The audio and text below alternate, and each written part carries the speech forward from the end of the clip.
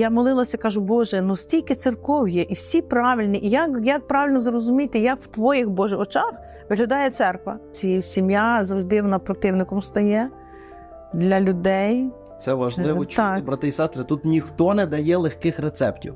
Але то неправильно, щоб діти були без хліба, а ми просто були безбашельні в супер служінні. Так і багато людей мають великі покликання, мають великі потенціали, мають велике, знаєте, таке е, серце, знаєте, можуть любити. але вони не можуть служити, тому що вони відмовляються від того. Тобі в плечі плюнули. Вас таке було? Це просто себе кладеш на цей жартовник і даєш Богові згоду. Боже, так, хай буде твоя воля. Є такі люди, що навіть цей поклик Божий, вони глушать тим от відповіддю, а що скажуть люди? І ми не можемо за нічого сховатися. Бог бачить нас, він де нас сканує, нас скрізь. Що нам нічого фізичного не треба, тільки духовне. В монастир підемо. Щоб взяти відповідальність, треба зробити кроки віри. Люди чисті серцем Бога побачать. А коли вони чисті серцем, коли вони запрошують Бога, щоб Бог навів порядок. Чекайте, я правильно зрозумів, то у вас що не, не ідеальні люди в церкві? Ні, не ідеальний. Ні. Тому що для чого мені ходити, для чого мені молитися? Мені вистачає раз в тиждень, я можу ходити в будь-яку церкву. Головне Бога мати. Головне Бога мати в душі і вірити Богові. Якщо ми хочемо, щоб Бог приходив в наше життя, ми часом просимо, Боже, благослови мене. але я для того не хочу нічого робити. Помазання, яке Бог дає пастирю, воно по-любому передається людям. Це наша боротьба проти всякого зла, тому що за кожною хворобою стоїть вирок диявола. Бути в церкві то сильно, тому що хтось за тебе молиться, покриває тебе молитвами. Бог переступить через нашу впертість, лінь, невірність, і Він буде призивати жінок.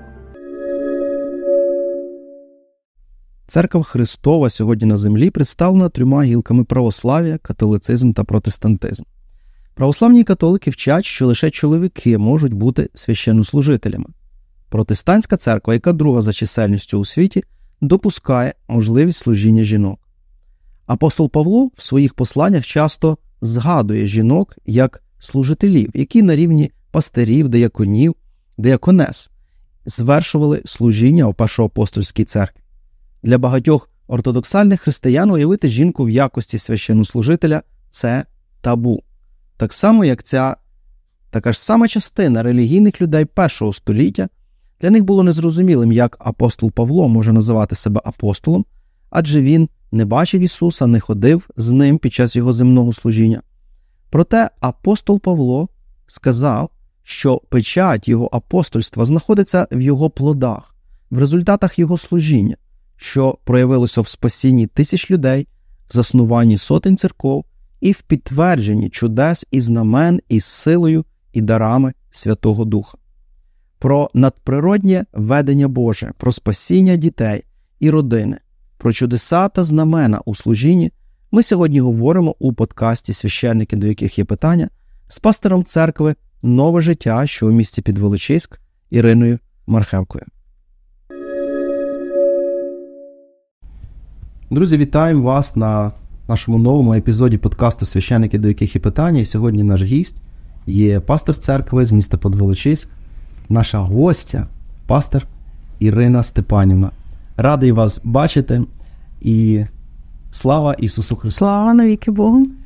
Апостол Петро пише своє перше послання такими словами: каже, що не бачивши його, каже, ви радієте славною і невимовною радістю. Я сьогодні дуже радий, що ви знайшли можливість завітати до нас на подкаст.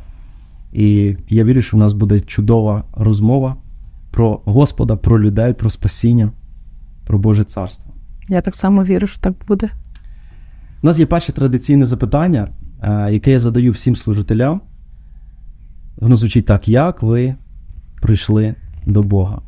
Ну, Я для наших глядачів я зразу скажу, що ем, служіння е, пастора Ірини я знаю вже багато років, і це той хороший наявний приклад того, що Бог призиває звичайних людей, звичайних сімей, з, знаєте, тих, які живуть серед нас. І коли він має призвання на життя людини, то приходять дивні події, дивні чудеса. І розкажіть, як Ісус І прийшов в життя. і приходять радикальні переміни в наше життя. від Бога. І часто вони виглядають дуже кумедними і дуже такими цікавими, і не спостерігаємо за нашим життям, що воно міняється не так, як би ми хотіли. Я просто дякую Богу, що Бог мене знайшов, і я себе пам'ятаю з самого дитинства, що батьки, коли виховували мене, завжди більше тато він е, спонукав нас, щоб ми молилися. І вдома у нас завжди було слово.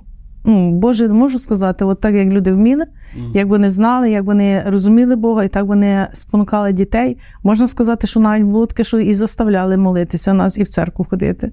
Так що е, був страх. в нашій сім'ї був страх Божий. І ми завжди чули, як діти, що старші люди завжди говорили про Бога і говорили про молитву. І для них було це дуже важливо, тому що е, насправді цей страх Божий був. Е, Мого батька мама, вона дуже була така молитовна людина, вона була неписемна. Ну, вона колись була в монастирі, вона хотіла десь, ще коли вона була дівчина, хотіла десь поїхати, колись люди виїжджали в Америку, і в їй не вийшло, вона попала в монастир. І це дуже така цікава історія. І вона була спілкувалася з такими людьми, і вона завжди, коли я приходила до неї, вона каже: Я молилася, я знала, що ти зараз прийдеш. Хоч вона читати не вміла. Бог їй показував видіння. Вона завжди казала: Я бачу видіння, я бачу квіти, і бачу золоті написи. І вона до мене каже: подивися, я нічого не бачила і не розуміла. Я думала, що Бог, то як він говорить, то він говорить так, що ти чуєш його, і не інакше. І В неї був чутливий дух. Вона чутлива була до Бога, і вона любила Бога, але ну, воно було якось по-своєму. Бог, можна сказати, протягом всього мого життя Бог завжди стукав в моє життя через людей. Але саме більше, коли він почав у моє життя говорити, це через сни. Бо це просто були сни такі, що вони мене побуджували шукати його. Я пам'ятаю, що ми навіть в церкву, як ходили, колись забороняли. Я ще росла в тих часи, коли в церкву забороняли ходити школярам, і батьки мене, і багато дітей таких через паркани присаджували. Ми ходили на Пасху, як Пасху святили, ми ходили в церкву і ходили. І так, але це було так з примусу, тому що це не було, це був як обов'язок послухати батьків і всього-навсього. Ну, коли Бог почав говорити в моє життя і почав мене побуджувати, е, прийшли такі моменти, коли вже в мене була сім'я, коли почалися якісь проблеми, і я почала шукати виходу. І е, знаєте, я думала собі, що от е, ти просто ходиш в церкву і в тебе має бути через то вихід. І я от на сьогоднішній час розумію, що якісь певні стандарти, бо певні якісь закони, порядок, вони приводять людину до пізнання Бога. Це як закон. І він як е, пільнує людину, щоб людина якось відбулася. Но, Бо ми не чуємо Бога, коли ми в законі. Ми практично, коли ми пізнаємо Бога, ми починаємо його чути. Я ніколи не читала Біблії сама, але коли я почала її читати, я її просто розуміла по розуму своєму, по логіці, логіці свого мишлення. І коли Бог мені показував сни, одного разу мені приснився сон. Я на той час працювала в лікарні, мені приснився сон, і я почула голос Божий, і я просто можу його зараз в будь-який час, якби почула, я би могла його розпізнати, що це був Бог. Тому що Бог проговорив до мене, чи ти е, хочеш йти за мною, по-перше, по-друге, і по-третє, я вже збудилася, я просто була вся мокра. Я розуміла, що мені я стояла на колінах біля якогось стола білого, і от я розуміла, що говорить до мене Бог. Неможливо сплутати його голос. Неможливо. Це просто голос, який е, він одночасно люблячий, лагідний, але він владний. Це голос, який говорить батько. Я взагалі-то навіть до кінця не розуміла, що то є. Але коли я почала читати Біблію, я розуміла, що Бог говорив до ізраїльського народу, говорив до людей своїх, до пророків. І я собі задавала питання: то чому Бог до нас не говорить зараз? Чому ми його не чуємо? Ми так, як вони чули. На той час я розуміла, що Бог е, до них говорив, от звичайно, як ми зараз розмовляємо, але то було не так. Це був дух, і це говорив Дух Божий до людей. І з того часу, знаєте, Бог давав мені такі думки, на які я починала роздумувати. Якщо Бог є, якщо Він допомагає, то чому я не бачу його руки в своєму житті? Чому в мене проблеми? Чому в мене проблеми? Чому я ходжу в церкву і я не бачу відповіді? Що мені треба змінити для того, щоб прийшов вихід? Чому в мене діти хворіють? Чому я хворію? І от такі питання. І вони завжди крутилися, я шукала на них відповіді. І до кінця не розуміла, що їх треба шукати в Бозі, в Слові Божому і так далі. Але я просто дякую на сьогоднішній час, що знаєте, є принципи Божі, по яких Бог діє в житті людини. Він не діє, як ми хочемо, але він діє, як він хоче, щоб ми на його люди, сторону. які не читають Слова Божого, а просто живуть традиціями, вони цих принципів не знають. Вони не розуміють того. порушують ті речі, Так. які приносять їм проблеми. Так. Чи правильно я розумію, що ви ходили в церкву впродовж життя, але Бога не знали? Ну, от на, на тому рівні, як я хотіла його знати, і я думала, що я його так знаю. От так мені подобалося. Так всі люди роблять, і я так робила. Хоч десь всередині цей був поклик Божий всередині. І коли мені приснився одного разу сон такий, що я йду і прийшла на перехресток, і мені треба позбирати колоски. Знаєте, колись дідуха ставили на свята в церкву вдома в себе в- домі. І я думаю, в мене нема, і мені треба того назбирати, щоб поставити це. От в сні я то конкретно розуміла і знала. І я прийшла в поле, і, е, і там не було що збирати. Там просто було е, більшість соломи, десь десь маленькі колосочки. Ну, коли я їх почала так покласти на руку, і я побачила, що це були величезні колоски. Це були великі колоси. І це був такий дуже гарний такий сніпок. І я розуміла, що я збирала нічого, а позбирала, воно було дуже гарне, таке просто було приємне, бо я розумію, в селі росла, я знаю, що таке колосок, яке зерно воно має бути. І коли я його принесла додому, почала перебирати ці колоси, щоб вибрати гарно і зв'язати їх. Я знала кожну людину, це було кожне ім'я кожної людини за цим, за кожним колосочком. Я вже то тепер не пам'ятаю, але я пам'ятаю деяких людей, які мені були названі в сні, хто то такий. Тобто Бог фактично в сні вам показав людей, для яких ви повинні були послужити і Так. привести їх до спасіння. І було таких багато людей, що я за них просто молилася, Бог мене побуджував. Коли я вже дещо зрозуміла, навчилася, в мене було одна е, така, знаєте, внутрішнє бажання допомогти людям в тому, що я пізнала, і що в моєму житті змінилося, щоб Бог допоміг цим людям. Цей сон був вже коли ви увірували, коли ви покаялися, чи він ще був до того? Я фактично покаялася, коли я почала дивитися програму Справжня ціна. Розкажіть, Так, і е, який це був десь рік? 2000 якийсь другий, шостий, 2006 році у вас була школа біблійна. в 2006 році.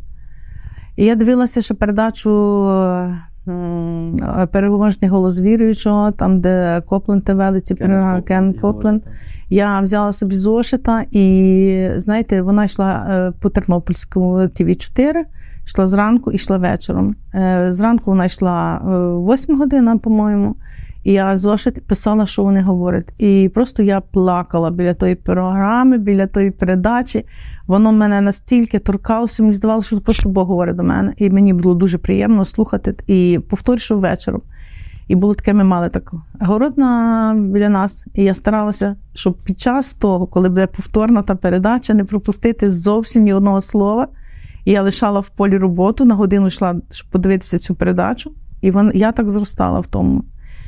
І е, Бог, надзвичайно, він якось мене формував за, через ті передачі, і я відкривала Біблію перші рази. Я навіть не розуміла, що таке послання до церков, що таке послання Павла. Я думала, що то все Бог понаписував. Я не розуміла, що люди писали Біблію. Багато людей, які були натхнені Духом Святим. Але от це таке дякувати Богу за Духа Святого, який він робив зі мною роботу. Каже, Дух Святий навчить вас, він вас попровадить, він вас наставить. Але ж яка головна ціль? Я бажаю того. Як цікаво, дивіться, був період, виходить, в вашому житті, коли ви відвідували церкву і молились, ну, скажімо так, як всі. Як всі. І не було тої спраги, раз, і не було того откровіння Божого. Тобто, ну, така якась номінальна середня температура по палаті.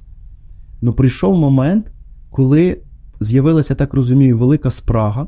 Так. І це ж видно по людині. Знаєте, коли Бог кличе людину, в неї з'являється невимовна спрага, в неї пріоритети змінюються. От. І виходить, що коли це прийшло, то Слово Боже, у вас якби голод за словом з'явився.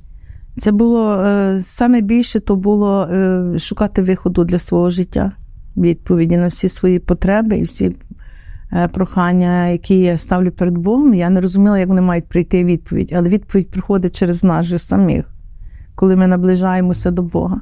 Слові Божому сказано: ти наблизься до мене, і я наближуся до тебе. Розумієте, я ще от згадала один сон. Це дуже, дуже був страшний сон, коли він мені приснився сон, що от просто лава гаряча розкалена летить з-під землі. Я дуже довго впиралася. Це не просто так, що я от раз прийшла, це що пройшов період часу. І е, розкалена лава, вона просто летіла з-під землі, і біля нас там е, будували завод.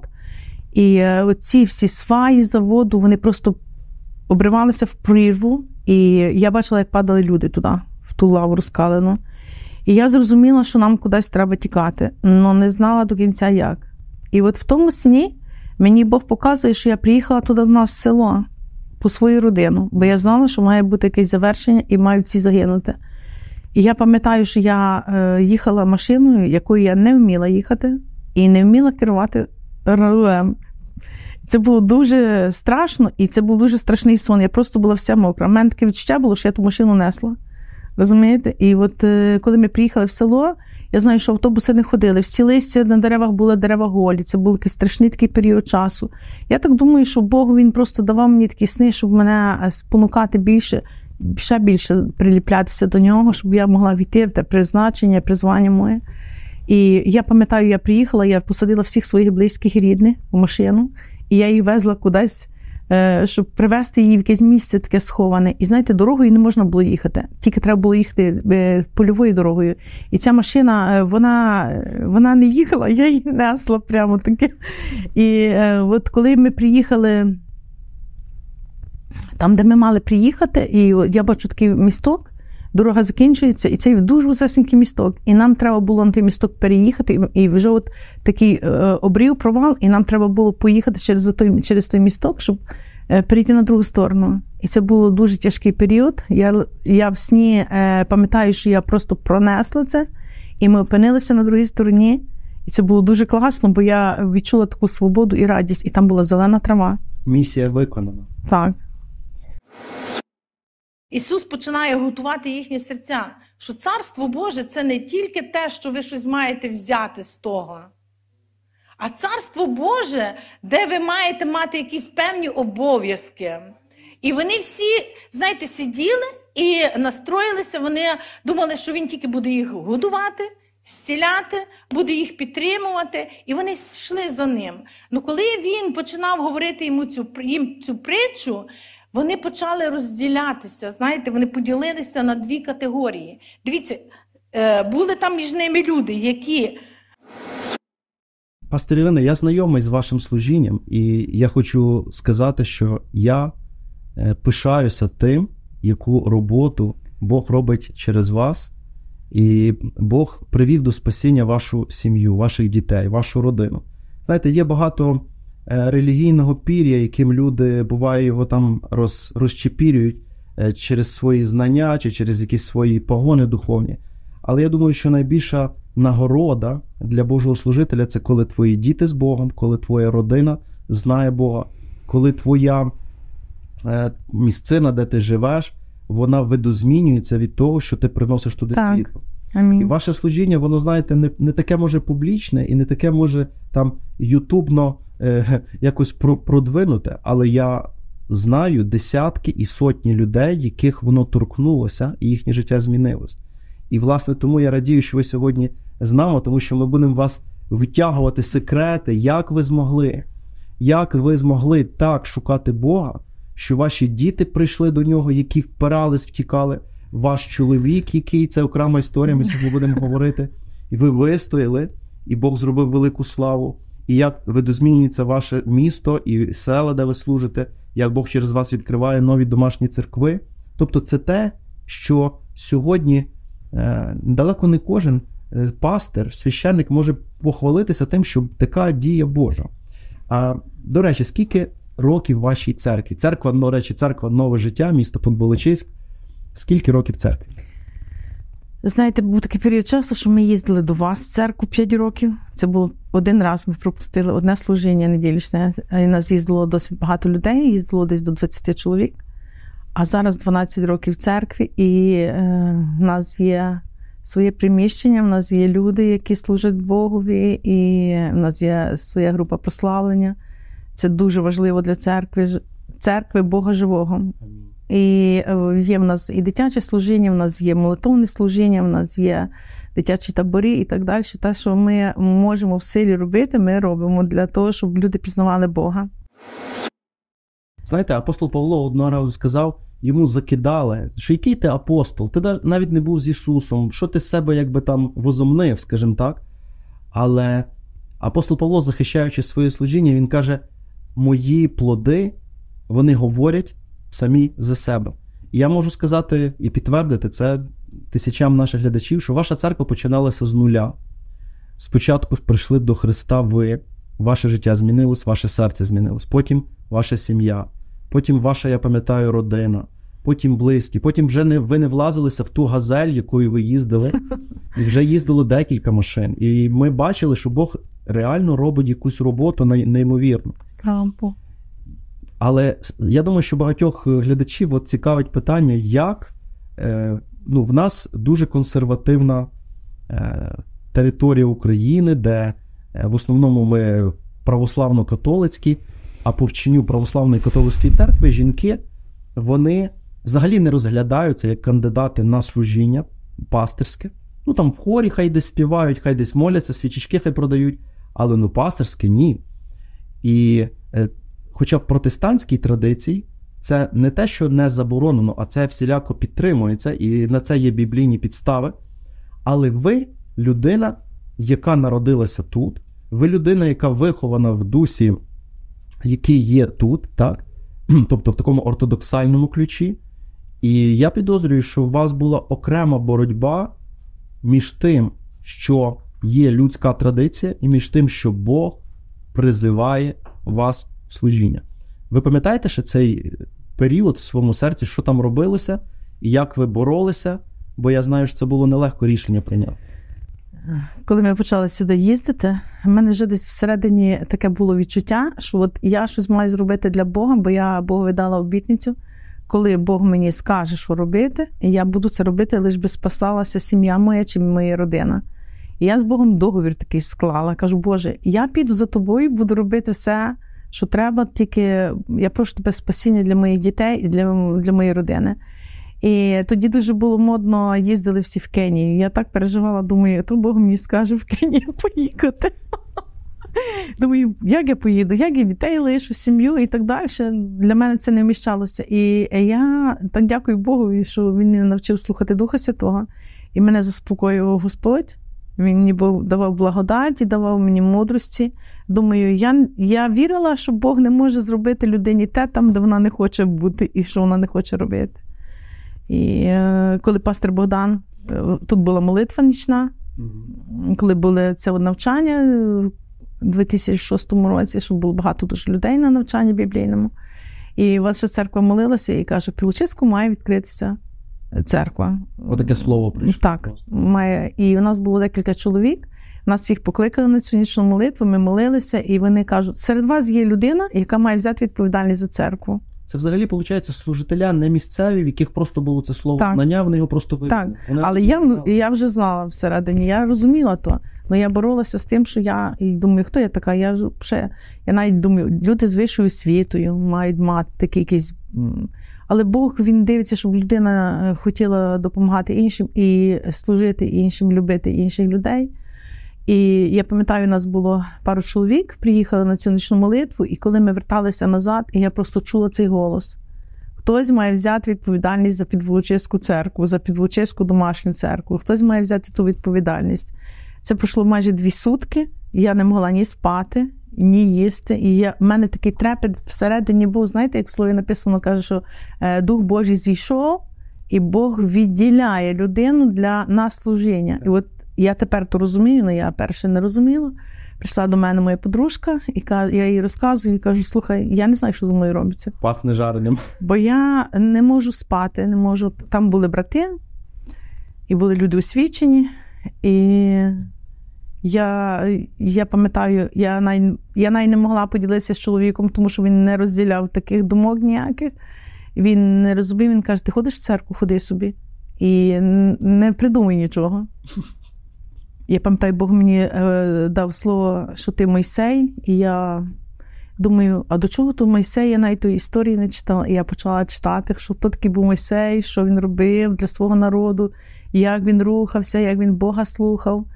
І це боротьба внутрішня, тому що треба прийняти або відмовитися. І е, насправді, е, коли пастор Богдан мені е, дарував книжки, каже: слухайте, я маю для вас книжку прочитати. Жінка-лідер, жінка-пастор.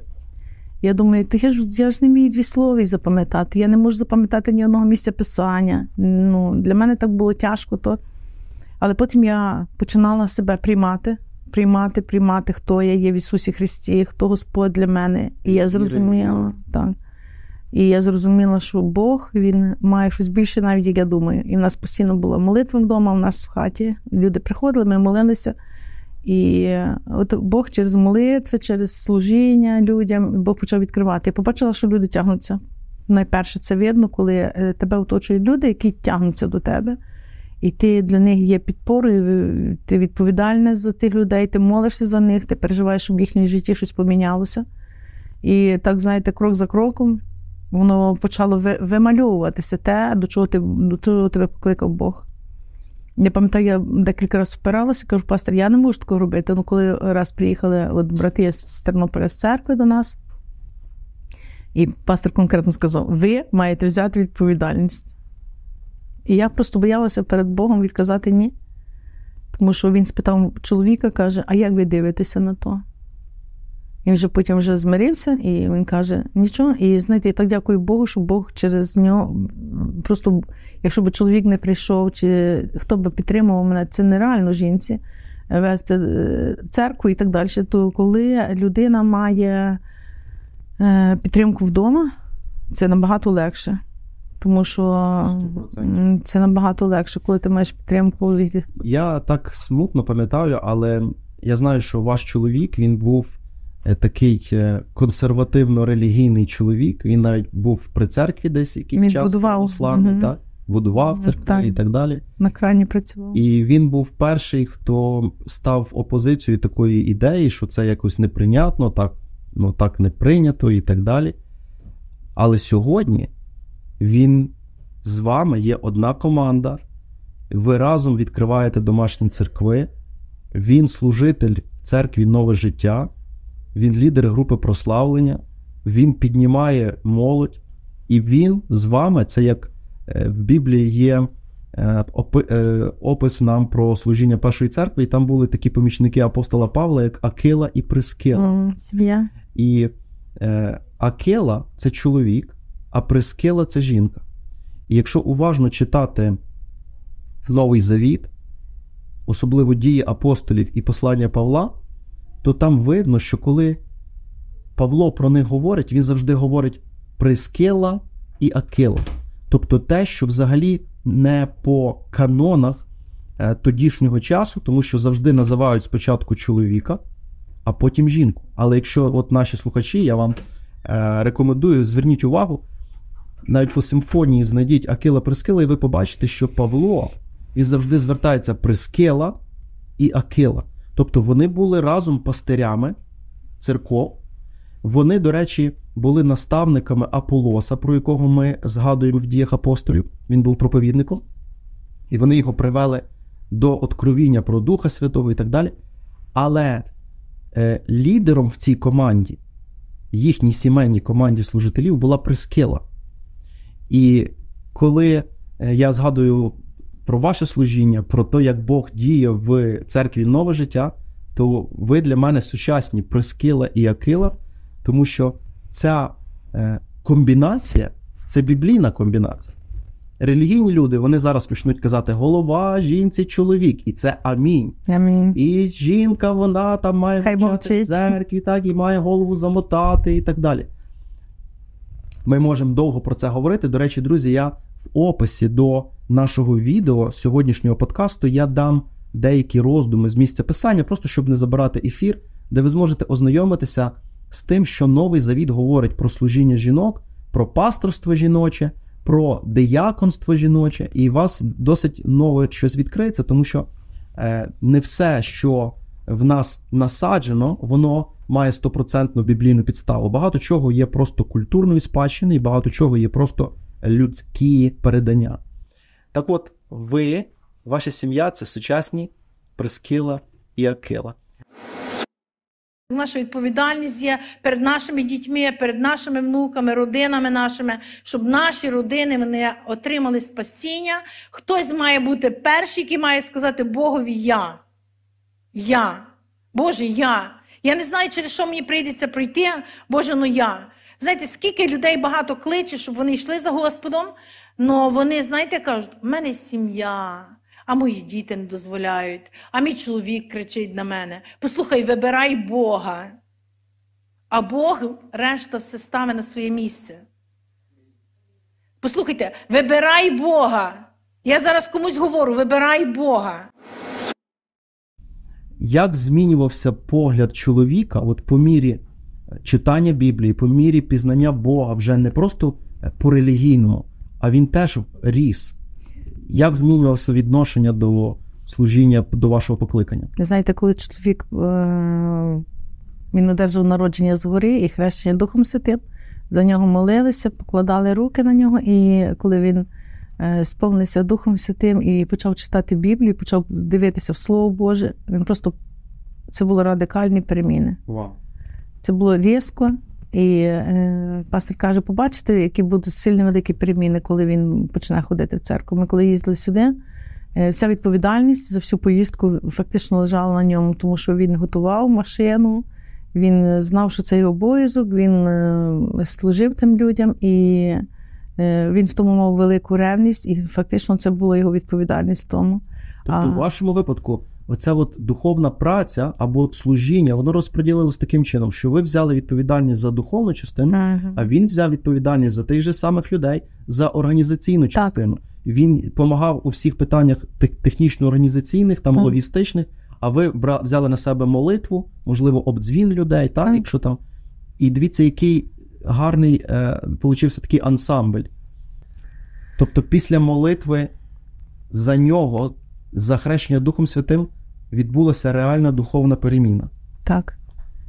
Це зовсім стала друга людина, яка почала е, прагнути Бога, і хоч він завжди в церкву ходив, так само він не, не покидав е, церкву, і він по неділях він працював на будові церкви, і він на крані працював, він ходив в церкву.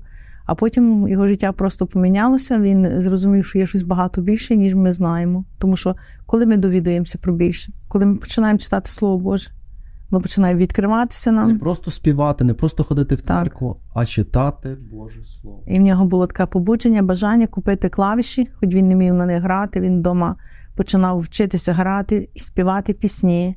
І знаєте, таке відчуття було, що от коли вечором він сідав, він ходив на роботу, а вечором сідав, брав ноти і вчився грати і співати. Бо він хотів служити Богу. Так. Так? І я пам'ятаю, така атмосфера в хаті була.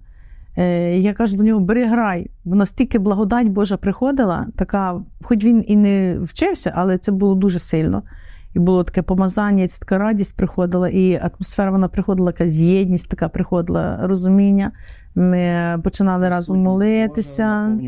Ми починали молитися разом, і ми розуміли, що нам треба за дітей молитися, стояти, тому що е, діти, вони Бог їм відкрився. Так само за рідних, і е, сім'я моєї сестри. Сестра вона зараз співає в прославленні. Вона вона фактично зараз є лідер прославлення. І, і просто це життя просто перемінене, тому що ми знали принципи одні, думали по одному, а коли приходить в твоє життя Бог, воно починає по-другому, тому що коли ти підкоряєшся Богу, підкорення це дуже важливо підкоритися, хоч і ти не знаєш як, але ти десь покроково, покроково робиш це. Е, Бачите, через е, Бог саме більше до мене говорив через сни, тому що я не могла зрозуміти своїм розумом того, що то щось треба міняти. І ще один такий сон я згадала, коли нам хворіла наша дитина, і мені приснився такий сон, що я з нею йду до Ісуса. От в сні я знаю, що я йду вузесенька дорога, я йду до Ісуса. І я не бачила Ісуса, і я чула його присутність, і я бачила білу одежу і так до половини ноги. Я пам'ятаю, ми стали на коліна, я перша, тоді вона за мною стала на коліна, і тоді я обернулася назад, і я бачу ззаді вся наша родина. І я зрозуміла, от через сни, бо мені через сни вчив, бо я тому, тому що я не читала пісень. Слухайте, те, що ви побачили в сні, сьогодні є реальність, Так. від якої неможливо нічого сказати. Так і сталося. Дехто каже, ти момент- придумала. А я не могла придумати, тому що от те, що Бог робить, воно пишеться в серці. Це не в розумі, це в серці пише. Ти знаєш, бо ти знаєш, бо ти знаєш. І тоді, якщо в тебе якісь перешкоди є в житті, ти опираєшся на те, що тобі було відкрито від Бога. І от е, ті всі факти, я розуміла, що Бог хоче мені в тому допомогти.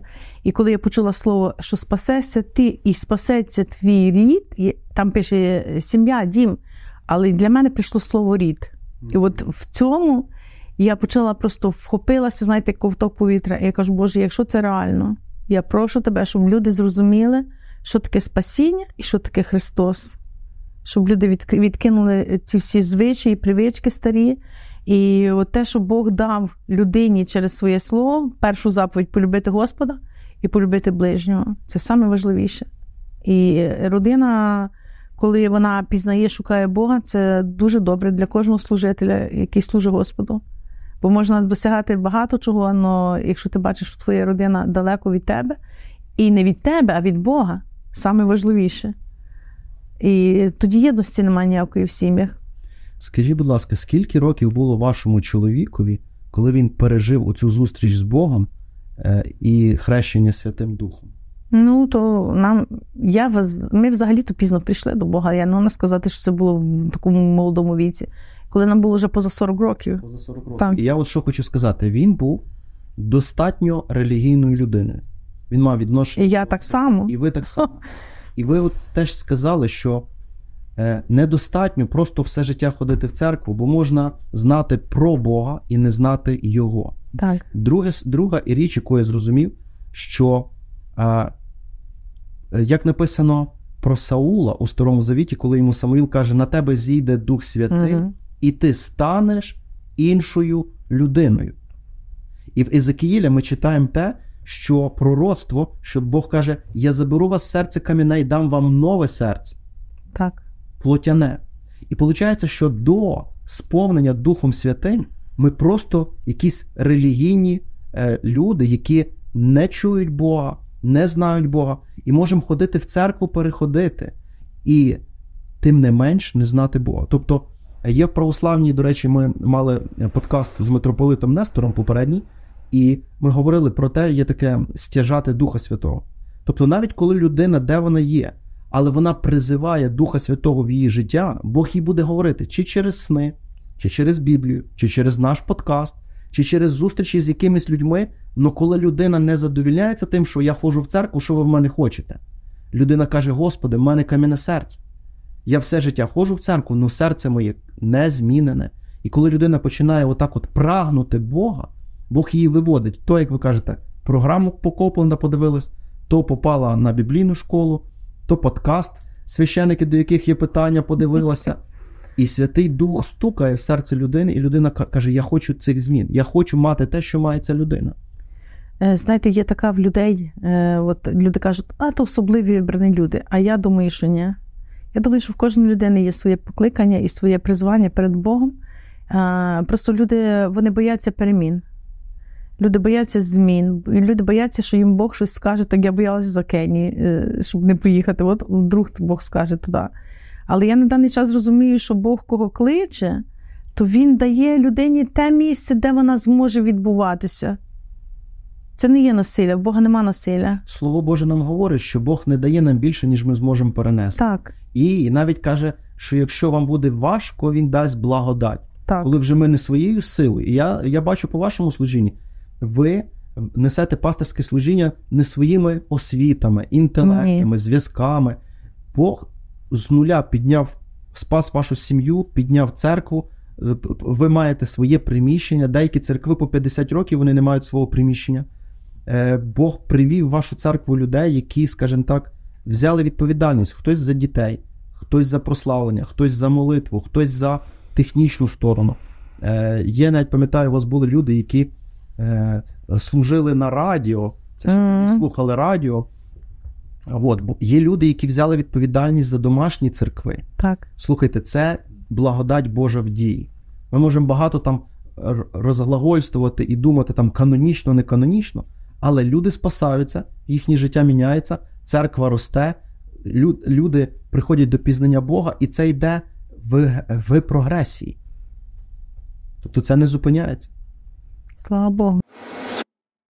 Е, я знаю менталітет невеличких е, сіл чи містечок, де всі один одного знають, де дуже важливою є думка людей. Дуже. Ви з невеличкого містечка Підволочиськ. До речі, дуже мальовниче місце, друзі. Якщо ви не були в Підволочиську, там дуже хороша атмосфера. Е, відвідайте це містечко, воно дуже затишне, і там є церква нове життя на правах реклами. Для людей е, в таких наших е, западенських маленьких містах дуже важливу роль грає, а що подумають люди. Я собі тільки можу представити, що про вас надумували люди, коли ви погодилися перед Божим лицем взяти відповідальність за служіння, за те, щоб пасти людей, яких Бог спас. Як ви пройшли цей період, непростий період, і, і пройшли його достойно? Знаєте, мене дуже афішували що у нас так є. Ну, Багато людей знали, що є відкрилася церква з Тернополя, багато людей знали, що є справді така церква. Но, по-перше, я сама вона, я не міг хвалитися своїми там досягненнями, погонами і так далі. Це є служитель. Служитель Павло каже, тут як вроді би найгірша людина, яка є найнижче від всіх. знаєте. Всі копають, хто хоче. Так. І в нас в церкві ми просто домовилися, що ми про то не говоримо. Це не є якась така суперреклама. Е, У нас так була ціль говорити про Бога. І воно, знаєте, якось так проходило, що ну, на роботі в мене знали, наприклад, хтось знав, що відповідальність взяла жінка. Багато людей, християн, казали, що це неправильна позиція, так не має бути і так далі. На початках приїжджав е, до нас пастор Богдан, були такі періоди. Але потім, коли ми почали розвиватися далі, і е, пастор каже, це ваша відповідальність, ви маєте то робити. І просто не було куди діватися. І Я тоді розчиталася з роботи, і я вже почала на повне служіння прийшла і служити. Е, знаєте, кому, коли якщо людині треба відповідь на якісь її потреби і має проблему, то людина не дивиться, до кого найде на молитву. Клас. Вона просто приходить, Вона щоб допомогти її щось поміняти. І оце дуже такі саме важливіше. Я пам'ятаю, пастор Богдан приїжджав до нас, він каже: вам пора вже відділятися від нас, вас вже багато, беріть, шукайте приміщення, щоб люди могли десь мати місце, збиратися разом і молитися, тут будувати церкву. І він завжди нам казав, десь в центрі міста, десь там, десь там. І ми ходили, просили, молилися, шукали. І мені так само Бог показав видіння. Оце місце, де ми знімаємо приміщення. Воно було просто таким пустирником, там запущене це місце було, і мені Бог показав ясне, світле, таке ухажене місце, було дуже гарне. І Бог мені дав слово, що де проливалася кров мого народу, там колись розстрілювали євреїв. Це був бар, е, це був ресторан колишній. І Бог каже: там буде моя слава, там будуть спасатися люди. І знаєте, я почала плакати, молитися, довіряти. Думаю, як так може таке бути місце. Завжди люди говорили наоборот, що там не може ніякому, нам треба будувати приміщення. Ну, ми підкорилися просто під те слово, яке Бог нам дав. У нас не було ні фінансів, ні нічого. Дехто казав, їм американці гроші дають і так далі. Знаєте, така е, оцінка плоті людини. Якщо якщо не церква православна католицька, значить американці туди дають гроші. І це було для нас е, виклик такий, е, що ми не мали заплатити відразу всі гроші. І коли ми домовлялися за це приміщення, Бог мені сказав, як ми маємо говорити з людьми, які е, тоді раїсте, це примі... належало це ця будівля. І Бог нам сказав, як ми маємо до них підійти, як ми маємо їм говорити. І як ми маємо запропонувати, що ми в них купимо то. Слухайте, це ми маємо окремий подкаст зняти, як купити приміщення без грошей, як побудувати церкву без грошей, як почати церкву з нуля і як е, процвітати.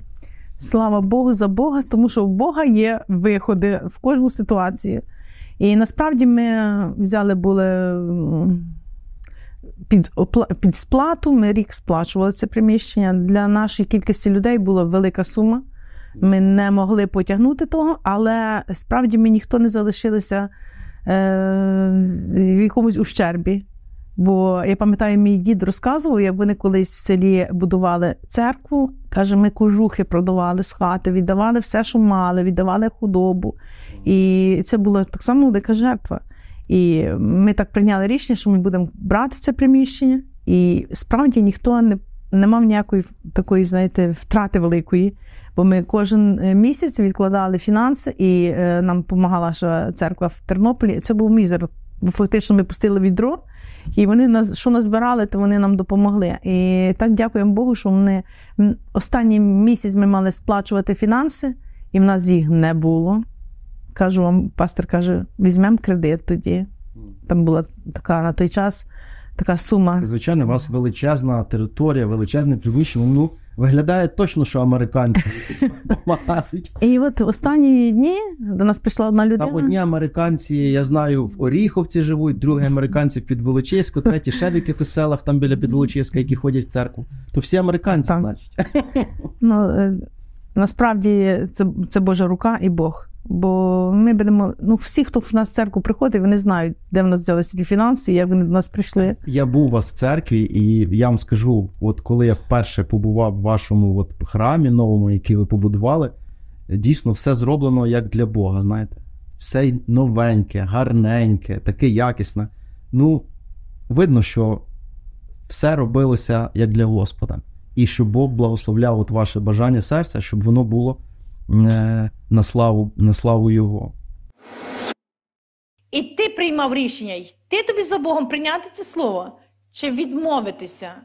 І багато людей, які слухали слово, і вони його відкинули. Те, що ми читали євреїв, бо воно що з їхньою вірою не злилося, бо їм не сподобалося. Їм треба було щось зміняти. Треба було їм відкидати якісь правильні, неправильні наставлення, навчання, передання їхніх батьків і послідувати за Богом. І це відповідальність щось відречися, щоб піти вперед і взяти щось нове, яке нам невідоме було, яке незрозуміле було. І нам треба було щось поміняти. Я вірю, що кожному з вас треба було щось поміняти. І це моя і твоя відповідальність за це так само. Я хочу вам сказати, до речі, можливо, ви це знаєте, можливо, ні. Але повертаючись до питання жінки в служінні, е, хочу сказати це і нашим глядачам. Це для вас, можливо, буде нова інформація, але найбільша церква у світі, найбільша по чисельності, е, по різних підрахунках від 800 тисяч до мільйона. Це є церква Юїду, яка знаходиться в Південній Кореї. Е, Її старшим пастором був відомий е, муж Божий Девід Йонгічо. Він два, роки тому відійшов у вічність, він вже передав служіння своїм наступникам. Але я був дуже здивований, коли дізнався, що абсолютно більшість, більшість служителів цієї церкви, чи, чи 80%, чи 60%, ну вели більше ніж 50% є жінки. Пастиря домашніх груп жінки, лідери напрямків служінь жінки. Е, В них так склалось, тому що там країна, де багато чоловіків вони сильно працюють багато годин, і в них, можливо, немає е, такої можливості е, займатися служінням і працювати одночасно. І Бог піднімає жінок, і найбільша церква в світі це є церква, де, хоча старший пастор чоловік, і, можливо, духовна рада, там частково чоловіків, жінок, але пастирями домашніх церков є жінки, лідерами служінь там різних є жінки. І для мене, ви знаєте, це сильний аргумент в користь того, коли хтось буде казати, що це там не по писанню, хоча це неправда, е, що так не має бути. Слухайте, є плоди, є результати, є спасенні люди, є ріст церкви. До речі, я собі занотував, що е, як мінімум три жінки нам е, згадуються в посланнях Павла, які були лідерами церков. І я просто зачитаю Коринтян 1.11. Е, Каже Павло, стало відомо мені про вас, мої браття, від Хлоїних, що між вами суперечки. Тобто Хлоя, вона була пастором церкви, і там були Мгм. якісь рухи. Далі ми в Колосян 4.15 читаємо: Вітайте братів, які живуть в Лаодейкі, вітайте німфу з церквою, що збирається в її домі. Тобто він називає ім'я служителя німфа, і в її, в її домі була домашня церква. Угу. А до слова, в першому столітті церква вона була гнана, і в них не було такого формату служінь, практично як ми сьогодні: неділя, храм, церква. Вся церква е, в Єрусалимі, до речі, церква налічувала 100 тисяч людей. В першому столітті була дуже чисельна церква. І всі вони збирались по домах, фактично. І лідерами цих служінь були, як ми бачимо, служителя. І, до речі, я собі е, наготував, дорогі брати і сестри, просто бонусом для вас е, зачитаю з 16 розділу Римлян, де Павло передає привіти служителям, і починається з таких слів: Поручаю вам сестру нашу Фіву, деяконесу церкви в Кенхрея. Знову ж таки, е, щоб ви прийняли її в Господі, як личить святим, допомагайте їй, у які речі вона буде чого потребувати, бо вона опікунка була багатьом і самому мені. Тобто апостол Павло каже, що це Божий служитель, яка попіклувалася про дуже багатьох і навіть про мене. Далі він каже: вітайте Прискилу і Акилу. Прискила це жінка, Акила це чоловік, співробітників моїх у Христі Ісусі. Павло каже: Я апостол, а от оця жінка і от її чоловік це мої співробітники, які голови е, за, за душу мою клали, яким не я сам дякую, але всі церкви споган і їхню домашню церкву. Тобто Прискила і Акила були пастирями домашньої церкви. На, далі, вітайте Марію, що напрацювалась багато для вас. Я читав е, тлумачення, що от оці, коли Павло говорить цю фразу, що багато трудилася, багато працювала, він говорить, як правило, про духовну працю. Тобто він каже: Вітайте Марію, що напрацювалась багато для вас. Тобто, це Мгм. означає, що ця людина була конкретно посвячена в служіння, і вона була е, служитель високого рангу, якщо він в апостольському посланні просить їй. Далі, вітайте Андроніка і Юнія. У нас в українському перекладі пише Юній, що це він. А виявляється, що якщо орфографію оригінально взяти, Юнія це вона. Він каже: вітайте Андроніка і Юнію. Взяти, якщо е, оцей. Далі.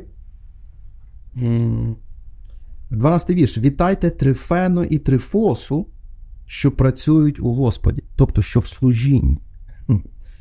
А, далі. Вітайте улюблену Персиду, що багато попрацювала в Господі. Тобто, знаєте, 16 розділ, брати і сестри, нехай е, він буде для вас великим е, відкриттям, що коли Бог призиває, то в Ісусі Христі, як написано в Галатах, немає вже ні чоловіка, ні жінки, ні жіночої, ні чоловічої. Коли Бог, коли ми говоримо про призвання, Бог не розділяє гендерність.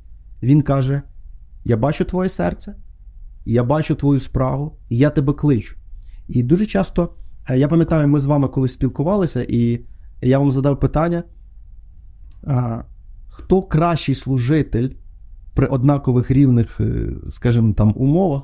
І ви мені сказали, що звичайно чоловіки повинні бути попереду. І як ви сьогодні дивитесь на це, коли б вам прийшлось передавати служіння, і у вас би був вибір? Дивіться, я пам'ятаю, як я завжди перед Богом умолялася, я казала, Боже, ну як я можу то робити? Я пам'ятаю, пастор запросив мене в Тернопіль на служіння, там, де збиралися всі пастирі. Це був один раз. І я сиджу так сіла ззаді з боку, і от між ними там вони говорять так далі. І потім Це пастор, брати, да? всі брати, і пастор каже, то пастор Ірина, нам підлучиску в церкві. Я була один раз, там більше не їхала. Тому що я кажу, ну, я кажу, доки Бог дав мені можливість це робити, я буду робити. І, і от що я хочу основне сказати: Бог мені почав відкривати, що таке синівство, що таке усиновлення. Це усиновлення, бо каже, е, дух Христів, якої статі? Чоловічий чи жіночий? Це дух Божий. І він як є в тобі, так і в мені Самий дух. той самий дух. І Бог мене в тому е, вчив і настановляв сам Бог. Це 100%, тому що я сама як Павло казав, я почув від Бога, що то так і амінь. І я перестала з собою боротися тоді. Я Тобто у вас не було якихось амбіцій, ви навпаки постійно хотіли зайти в тінь, Так. а Бог постійно вас витягував Так. то через пастора, то через Так. сон, то через Так. слово знання, яке було на біблійній школі, через якогось взагалі приїжджого служителя. Сто процентів. Тільки так Вам було. не вдалося. І Бог мене піднімав, щоб я хочу сказати вам: якщо Бог має покликання на ваше життя, на прикладі пастора Ірини, Бог буде стукати вас і витягувати з тіні, будьте чутливими до його голосу. Якщо ми смиряємося перед ним, то він нас підніме, то 100%. І це дуже таке добре зрозуміти, хто ми в Ісусі Христі. Щоб ми не умаляли себе. Якщо Бог хоче через нас подіяти і зробити якусь роботу, то е, я маю сказати Богу, Боже, ось я, що хочеш, роби. Хай твоя слава буде через мене. І я не можу. І один пастор сказав, каже, я просто ослик, на якому може Христос приїхати. Знаєте, і це, це амінь і так. І на даний час я розумію, знаєте, коли пройшло багато часу, я починаю оцінювати, думаю, якби я розуміла те, яка відповідальність на тому лежить, я, може би, була і боялася то робити. Ну, Бог давав мені таку внутрішню наснагу, що в мене все вийде. Коли я читала Євангелію, бачила, як Ісус поступав, думаю, якщо Бог дає можливість, то Він дає. Е, і обезпечення духовне, і фізичне обезпечення він І дає, і фінансове, і. Він покриває, він покриває то все. Наша ціль сказати Богу так. Так, Боже, хай буде Твоя воля. Як Ісус е, смирив себе перед тим, і ця боротьба внутрішня, це боротьба і зовнішня, раз. А друге, на те питання, яке ти сказав, я собі думаю, що для чоловіків все-таки легше було вести церкву, тому що чоловікам простіше. Жінки мають кухню, мають діти, мають городи, мають роботу і так далі. Е, Але якщо чоловіка Бог кличе, і я думаю, все-таки чоловікові легше. І якщо б в мене була така можливість, я молюся про це, щоб Бог піднімав братів. Я молюся дуже про те молюся, щоб Господь дарував братам ту благодать, щоб е, е, брати не залишалися там десь позаду, знаєте. Бо дехто каже, та жінки захвачують владу, то неправда. А, жінки просто спасають ситуацію. Спасають ситуацію. Це неправда. І коли я я читала книжку Кетрін Кульман, і е, коли вона пішла на служіння, вона запитала Бога про те, що чому Боже я? Мгм. А Бог каже, я багать, стукав багатя, багатьох серцях людей, чоловіків, кликав їх, я їх піднімав, але вони не дали згоди. І коли я за себе молилася, я, я розуміла, що є е, мож, е, такі моменти, що чоловіки мають сказати, Боже, я піду. І я буду зростати, я буду смиряти себе і так далі. І я, я думаю, що в нас в церкві зараз піднімаються е, брати, і в нас є такі брати ревні, і слава Богу за то. Я думаю, що Бог буде піднімати тих людей, кого треба поставити буде пастором. І я би, я би дуже того хотіла, щоб піднялися. Ви знаєте, це виглядає так, як е, в притчі Ісус каже, що Бог є господар жнив, Так, а жнива це от поле Боже, це люди, і Він висилає своїх жінців. так, І коли чоловіки знаходять причини відмовити Богу, віруючі чоловіки, так, в когось бізнес, в когось я не вмію, я не знаю, я не хочу, а я не готовий, як це часто буває, і 10 років не готовий, і 20, ну то таке. То Бог починає стукати тоді далі йде, він не зупиняється, тому що йому потрібно зібрати врожай. І жатва має бути зібрана. І що я хочу сказати? Пам'ятаєте, Ісус е, каже, е, коли йому казали Осана, Осана, фарисеї кажуть, скажи, хай мовчать. Він каже, якщо вони замовчать, каміння будуть буде каміння кричати. Брати і сестри, якщо ми, як брати, віруючі, діти Божі, сини Небесного Батька, не візьмемо відповідальність в церкві, Бог переступить через нашу впертість, лінь, невірність, і Він буде призивати жінок. І ви знаєте, це є. Не, тут може нема чим хвалитись, коли Так. Бог буде призивати. Це є час сорому і сипати попіл на голову, тому що ми пропустили відвідання Боже. Так, Ми поміняли покликання Боже в Його служіння на щось, на щось Тимчасове. Так, на зелені папірці, можливо, на якусь славу. Ми сказали, може потім, може ще щось. І коли Бог призиває жінок, це вже дзвіночок того, що ми щось пропустили. І я так розумію, що ви би з радістю передали служіння вже коли кого Бог підніме, тобто ви свою дистанцію так. віри якби підтримали, щоб передати це. Я так думала собі завжди, думаю, якийсь період часу я буду нести цю відповідальність духовну. А прийде час, коли Бог буде піднімати чоловіків. Але знаєте, час він ставав не, не на краще, а на гірше, бо і була ця пандемія, і е, зараз війна, і чоловіки більше вони в тому зайняті. Але я все-таки вірю, що Бог дасть благодать. Багато чоловіків поїхало звідси. Вони просто поїхали. Ну, я думаю, що варто Богові сказати так. Тому що за тим так стоять радикальні переміни всього. І велика благодать, І велика благодать. Важко уявити, що Бог приготував тим, хто любить його. Бо е, багато людей приходить до Бога, але вони хочуть приходити на своїх умовах. От в чому проблема. На своїх умовах. Боже, отак. Якщо ти мене зцілиш, якщо ти мені даш, якщо ти мене благословиш, то я буду робити. Але тобі треба йти за Богом тоді, коли ти ще того нічого не маєш. Коли Авраам пішов за Господом, він що мав? Пішов в кам'янисту Слово від нього. слово мав, більше нічого не мав. І от Бог його благословив, і е, він мав був благословений. А саме більше благословення це духовне благословення.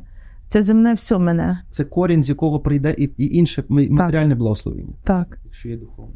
Дехто каже, от ви тримаєтеся там своєї земного, маєте роботи. Так, ми живемо на землі, ми ходимо по землі, ми працюємо, ми живемо, ми, ми користуємося благами земними і ми споживаємо їжу і так далі, як всі люди. Але насправді духовна сфера вона найактуальніша, найважливіша є. Бачите, як Христос к нам сказав. Він говорив про пріоритети, а люди, які перекручують, можна впасти то в одну єресь, то в другу. В одну єресь, що нам нічого фізичного не треба, тільки духовне. В монастир підемо. Друга єресь, що що ви там молитеся, як собі не заробиш, то не будеш мати, Так. як і Бог тобі не поможе. Так от Ісус що сказав? Шукайте найперше Царство царство Божого, а все решта додається. вам додасться. А е, тобто проблема в тому, що е, ми маємо просто зробити правильні пріоритети в своєму житті. Я знаю, що ви працюєте до сих пір. Ви служите як пастор церкви, ну і ви працюєте на роботі. Я коли до вас не позвоню, ви ще і на городі встигаєте, і дітей, і, і внуків, і, і, і все, що там. Як ви це встигаєте? Для мене це велике питання, ну це точно благодать. Тобто, у вас церква росте, і водночас ви трудитеся, заробляєте своїми руками е, гроші і ще свою картоплю і чесник вирощуєте. Я хочу подякувати кожному нашому підписнику за вашу активність, за ваші лайки, за те, що ділитеся нашими відео з вашими друзями. Ви допомагаєте нам доносити Слово Боже на українській мові аж до краю землі. Дякую за підписку, за ваші коментарі. Нехай Господь благословить вас. Пастор Ірина, ем, я знаю, що в житті кожного служителя без винятку є те, що ми називаємо періоди пустелі. Це коли, е, як в Авакума, в Авакума написано, лоза не дала свого плоду, Так. зрадило заняття вівцями. Значить, перекладаю на український сучасний манер. Люди, кому ти служив, плюнули тобі в душу, кому ти поміг, забули за це, кого ти витягував з халепи, тобі в плечі плюнули. У вас таке було? Я думаю, якщо в Ісуса було, то в кожної людини, напевно, є таке. Бо так виглядає, що у вас все чудово, гладко, церква росте, багато людей, служіння ростуть. У нас в церкву не міщалися люди, якби щоб вони пішли всі за Богом, які були, і яким Бог дав вихід, дав благословіння, Зцілив. дав зцілення. У нас багато людей зцілилися від раку. Це Вау. просто Боже чудо було. Скажете сьогодні декілька свідоцтв, бо я думаю, що це буде корисно. Е, і е, знаєте, коли Бог кличе таких людей, і що він дає їм е, індивідуальне зцілення, дає вихід, е, є підтвердження з лікарні і так далі. І люди просто думають, що то Бог зробив для того, що, щоб вони собі жили далі своїм життям. І саме більше, Щоб їм коли комфортніше Так. було грішити далі. щоб вони були здоровими, Просто. могли гарно поїсти, поспати і, і нічого не відповідати за що. Але людина, яка не в церкві, вона не може відбутися ніколи. Це нереально. Я для себе взяла. В нас хто залишився в церкві, хто був від початку, і хто є. Ці люди утверділи, укріпли, вони стали сильнішими, стали твердішими. Вони стали навіть час якісь труднощі. Вони в церкві людині легше проходити ті труднощі, про- екзамени здавати легше, тому що Я хочу підтвердити ваші слова, тому що, брати і сестри, у нас кожного ранку відбувається онлайн-молитва через Фейсбук, і я. Коли я веду таку молитву, то я бачу, хто приєднується, і я бачу, скільки людей іменно з вашої церкви постійні молитовники. Тобто і вони зростають це там. неймовірно.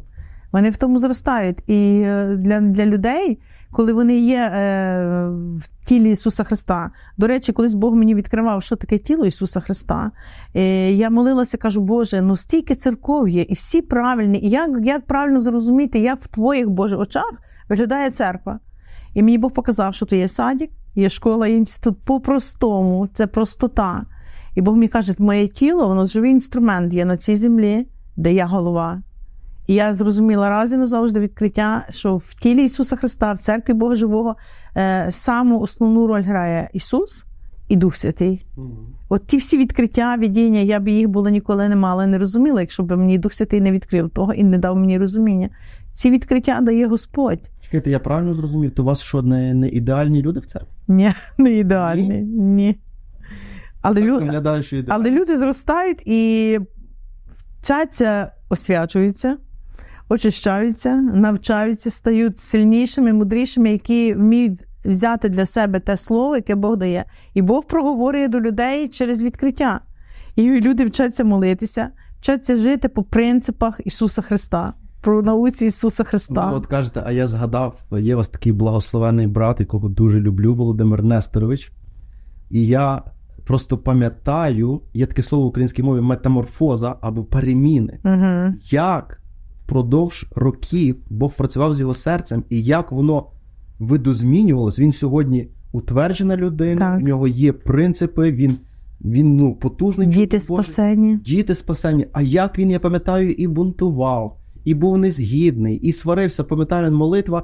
Він стає і каже, то неправильно, то не так. Тому що він мав свої відкриття і мав свої розуміння. Це те, що ви сказали. Це є дитяча група, Так, є школа і є Так. інститут. Це нормально, нормально. коли в церкві є люди, які не мають ще того откровіння, і ми маємо їх не списати, Так. не вигнати, бо ти там не такий, як я, не розумієш, а просто їм служити, як каже апостол Павло, я біля вас був як нянька, як годувальниця. 100%. Люди, які е, на початку вони не розуміють, вони потім стають самою більшою опорою для церкви і для вірні. Так. Вони саме більше посвячені, вони переживають за церкву, вони переживають за братів і сестер, вони перед Богом плачуть за них. Це дуже сильно, тому що е, е, дьявол він завжди хоче таких людей е, сильних забрати з церкви, таких людей е, спосібних Підступно. підступно відвести, обманути. Його ж місія вкрасти, знищити і згубити. І він то робить, тому що через неутверджене навчання або е, розум е, людина вона легко піде. Отак багато людей легко пішли, просто пішли. Тому що для чого мені ходити, для чого мені молитися? Мені вистачає раз в тиждень, я можу ходити в будь-яку церкву. Головне Бога мати. Головне Бога мати в душі і вірити Богові. А Біблія каже, що дьявол теж вірить. Він е, вірить і, трепещить, але він свої справи робить. Знаєте, ви от сказали оце, і мені здається, що це оця от мантра. е, Головне мати Бога в душі, не обов'язково ходити в церкву, не обов'язково бути частиною домашньої церкви.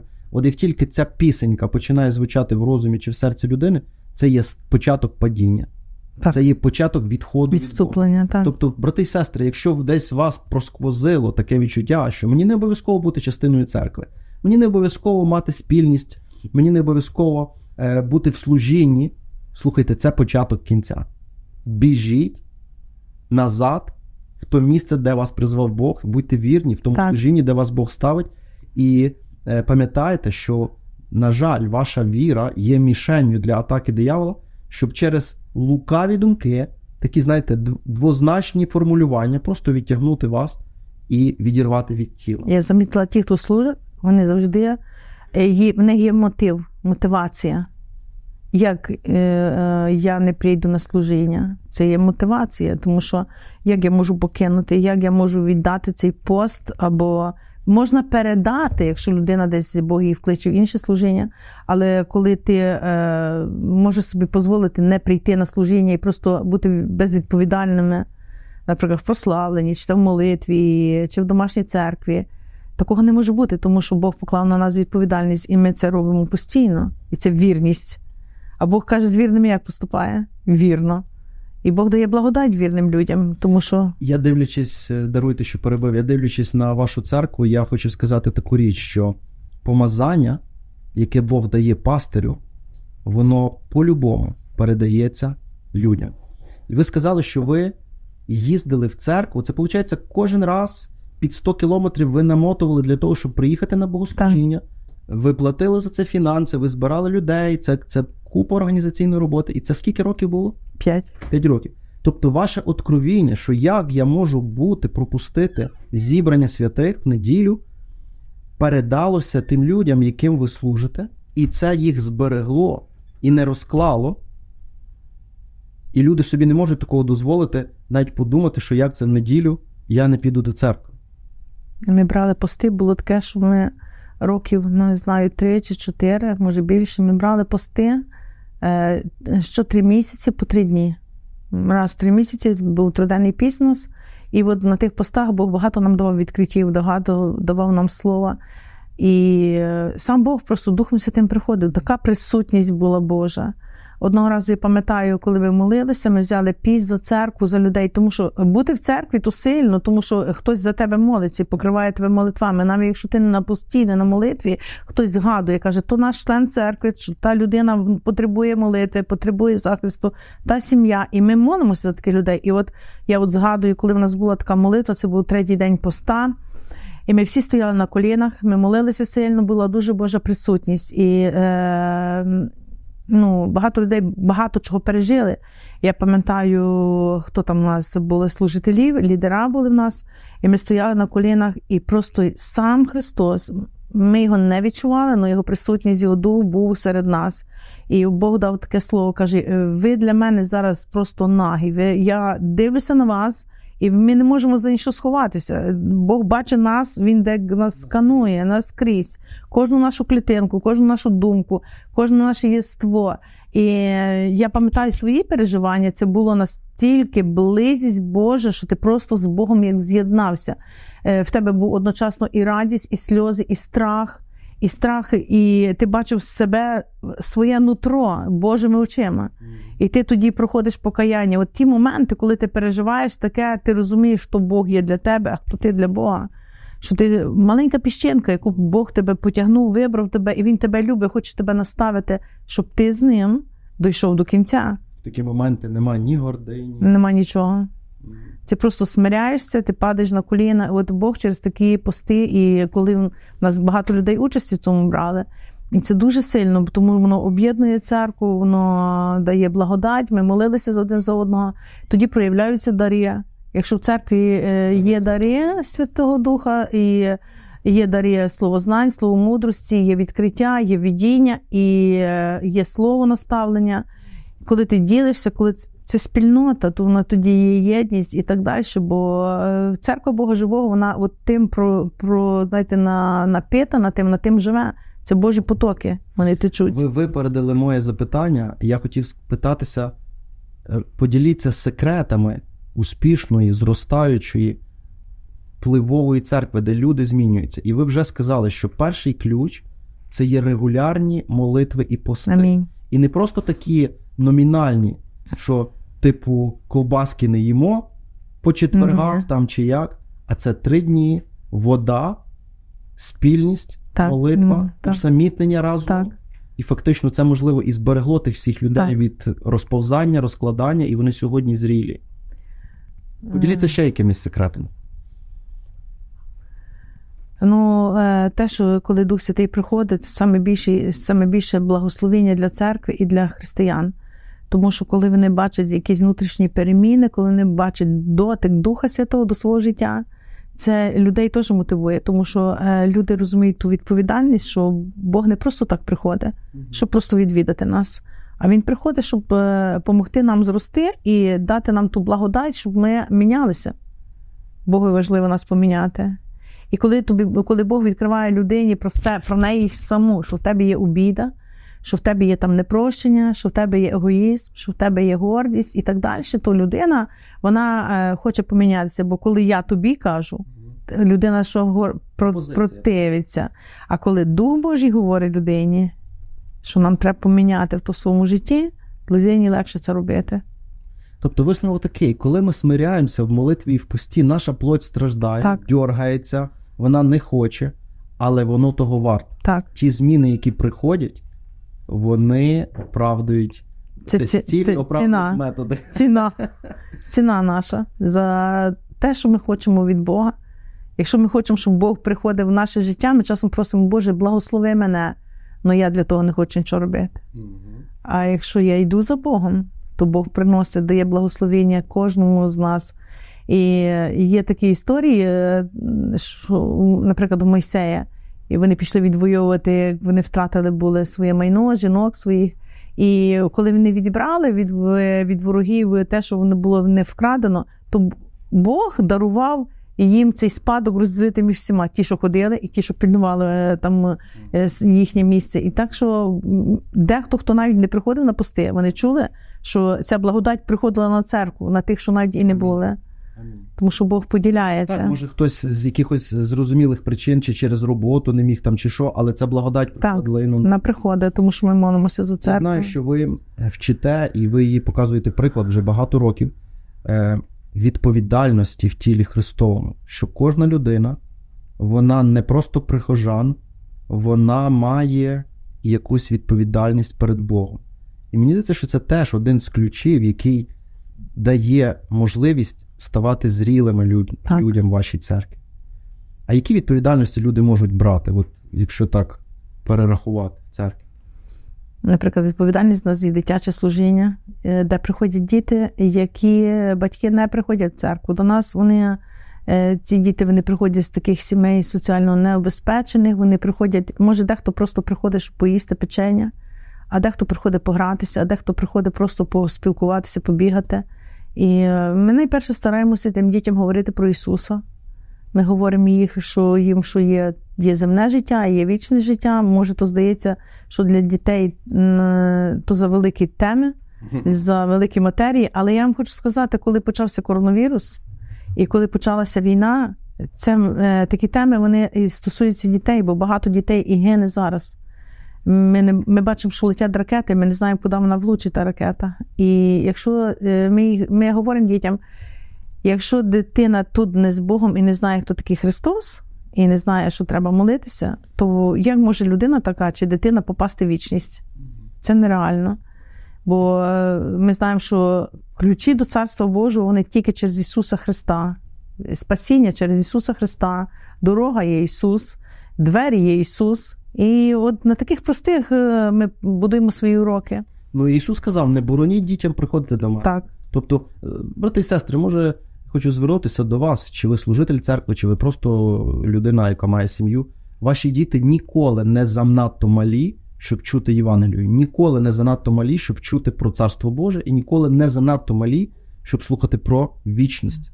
Так. Ми думаємо, що вони занадто малі. Слухайте, але чим вони молодші, і чим ви вкладете це слово, їхній ґрунт ще достатньо сприйнятливий. Тому що коли вони будуть вже старші, вони будуть занадто розумні, і занадто більш аргументів в них буде для того, щоб апелювати проти того, що ви кажете.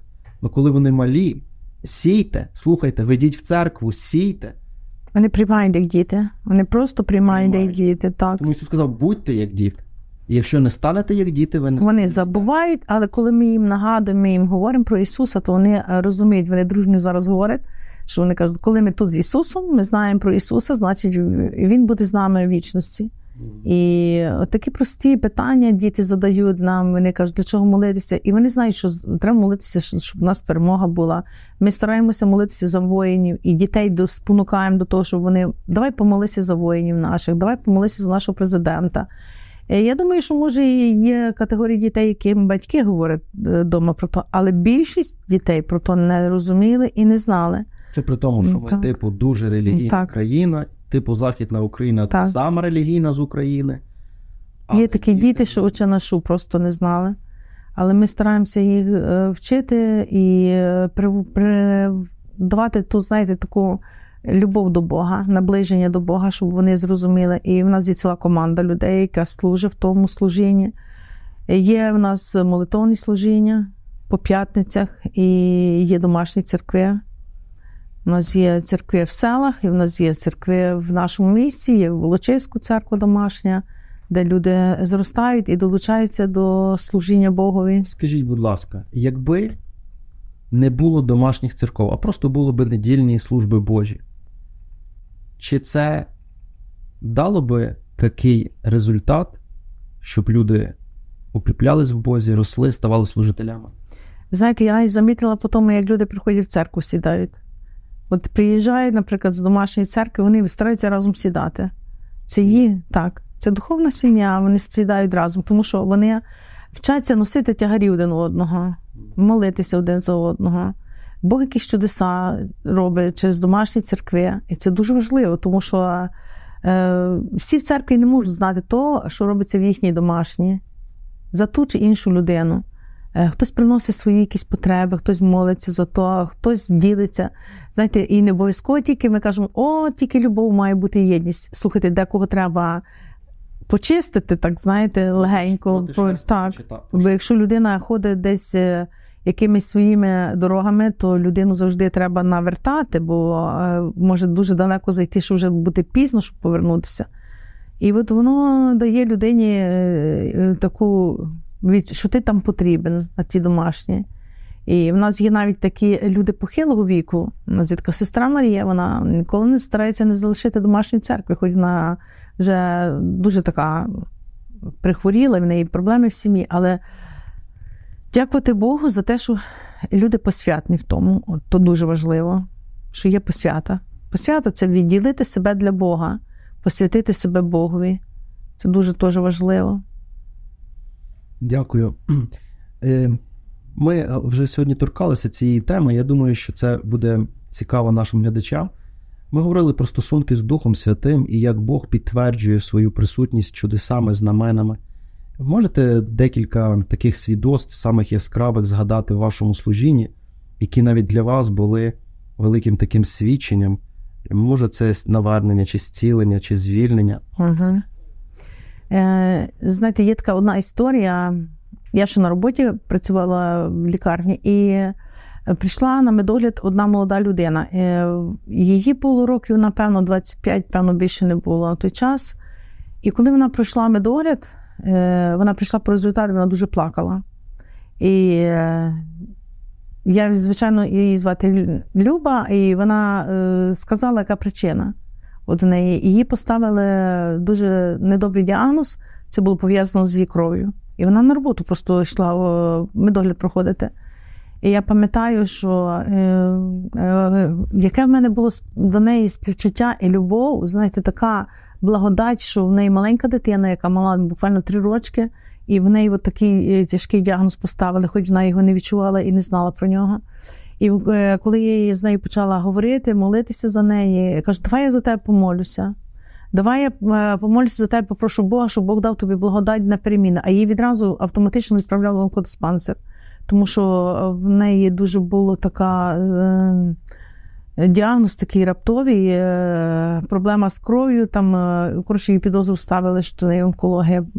І вона, Ми ми з нею помолилися, я її благословила, і я її наставила, сказала, що тобі треба, щоб ти кликала до Ісуса. Ти нічого не знаєш, а от клич Ісус і проси його в ту ситуацію, де ти є. От ти будеш там, і ти просто звертайся до Бога. Вона правда, вона примирилася з Богом, вона запросила Бога в своє життя, в своє серце.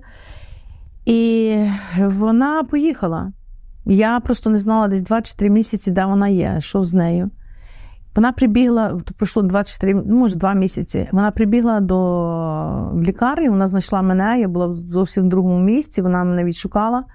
І вона була вже на той час, вона в неї вона вже проходила хімію, і вона вже була без волосся, вона була по фустинці зав'язана. але вона каже: ви знаєте, я ото все проходжу, і я знаю, що я вийду з того, я буду, я буду жити.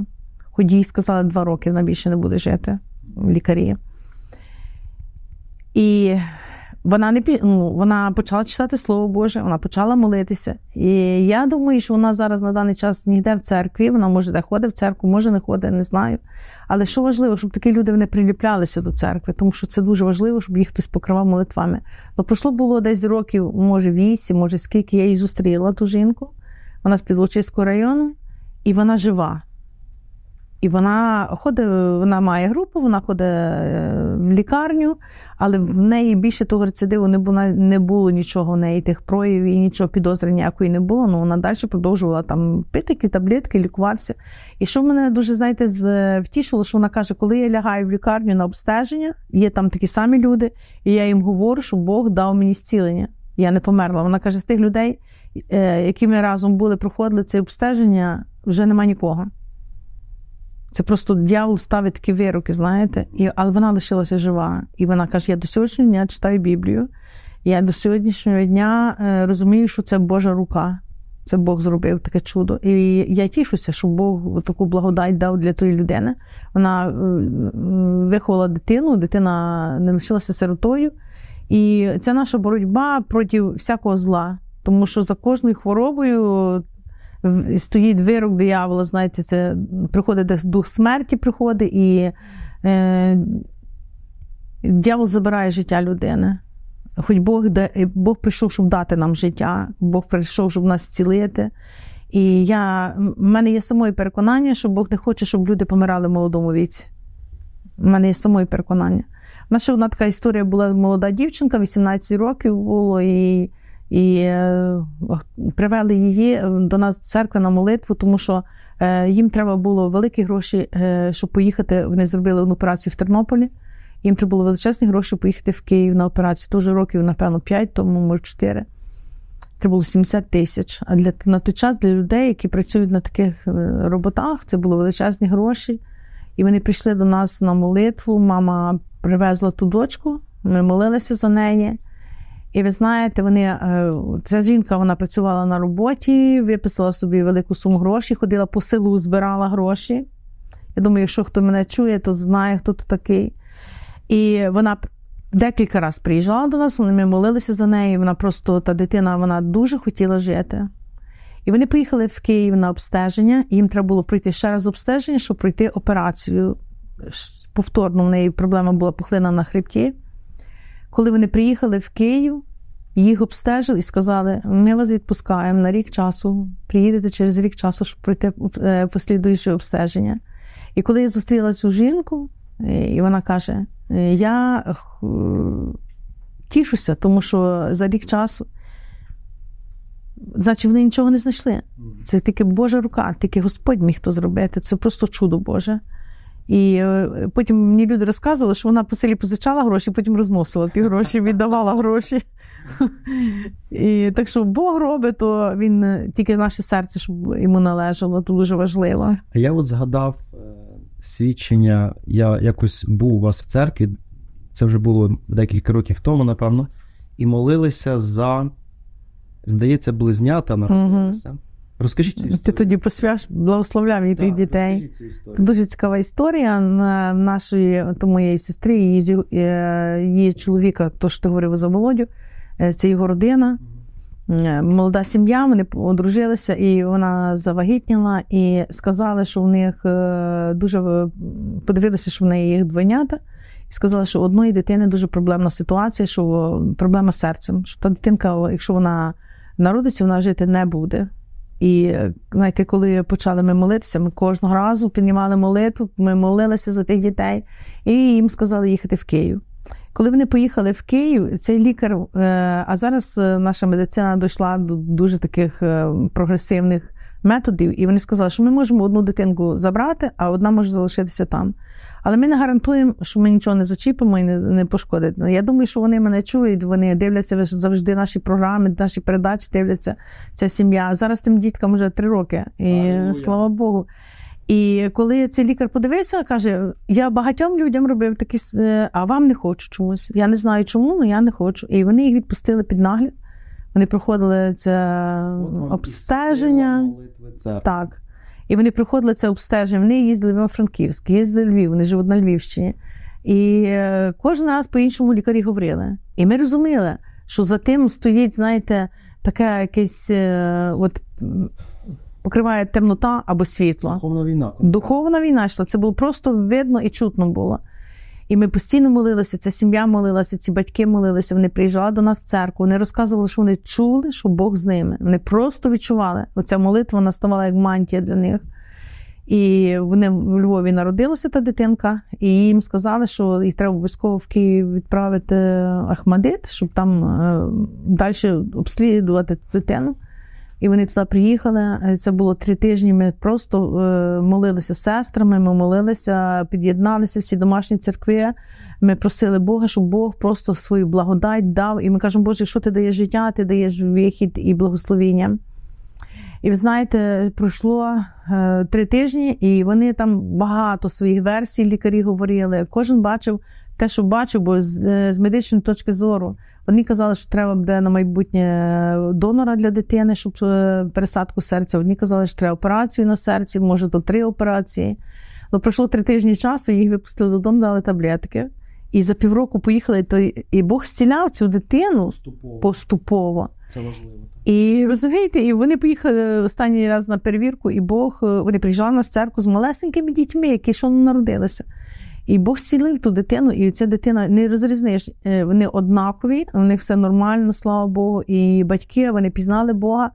І ви знаєте, що коли ми спитали їх, кажемо, ви питали Бога, як дітей назвати? Давайте ми будемо молитися, щоб Бог дав свої імена цим дітям. Вони вже спланували, і вони будуть називати. Ну, вони переміняли імена. Вони одну назвали Євангеліла, одну Єлізавета. І це слава Богу. Бог їм так дав ім'я для дітей. Тобто е, немає значення, Бог говорить завжди до всіх людей, і Він дає, ти його питаєш, він тобі відповідає. Але наша місія почути від нього і зробити те, що він каже. Бог він той, хто дає життя, він не забирає життя, він дає життя. Ви знаєте, і їх там в Києві їм треба було дати величезні кошти платити, і їх там обезпечили, дали фінанси і фінансово обезпечили. Там ну, не фінанси, медикаменти давали їм на лікування. Так що, слава Богу. І коли ми віримо йому, він приходить нам на зустріч. У нас багато таких історій було за хлопця, який впав на е, електричну лінію з моста на залізній дорозі е, 28 тисяч вольт. І після такої е, опіки 65% опіку було просто електрикою. І він впав на землю. І майже ніхто не виживає в таких ситуаціях. Ну, ми, як церква, молилися, батьки молилися, е, цього хлопця, сестри вони ходили в церкву, до нас ходять. І Бог дав благодать милість, і цей хлопець живе, він вже одружився, у нього є сім'я. І е, це Божа рука. Це Божа сила і Божа рука. Наша церква це кістка дияволу в горлі. Всюди, що він не задумає, то церква вимолює тих людей. Ну, може, не всіх, але таке, що ми якісь ситуації знали про то, значить, ми молилися, і Бог дав відповідь на ці ситуації. Бо написано, що теплю людину, каже, я виплюну. Невже так жорстоко? І е, через то ми маємо навчання, маємо проповіді, маємо спонукання, і ми один одного спонукаємо, щоб нам не заснути. Пастор Ірина, я хочу вам подякувати ще за одну людину, яку Бог дивним чином спас і використовує до сих пір. Була одна сестричка в вашій церкві, яка мала проблеми з демонізацією.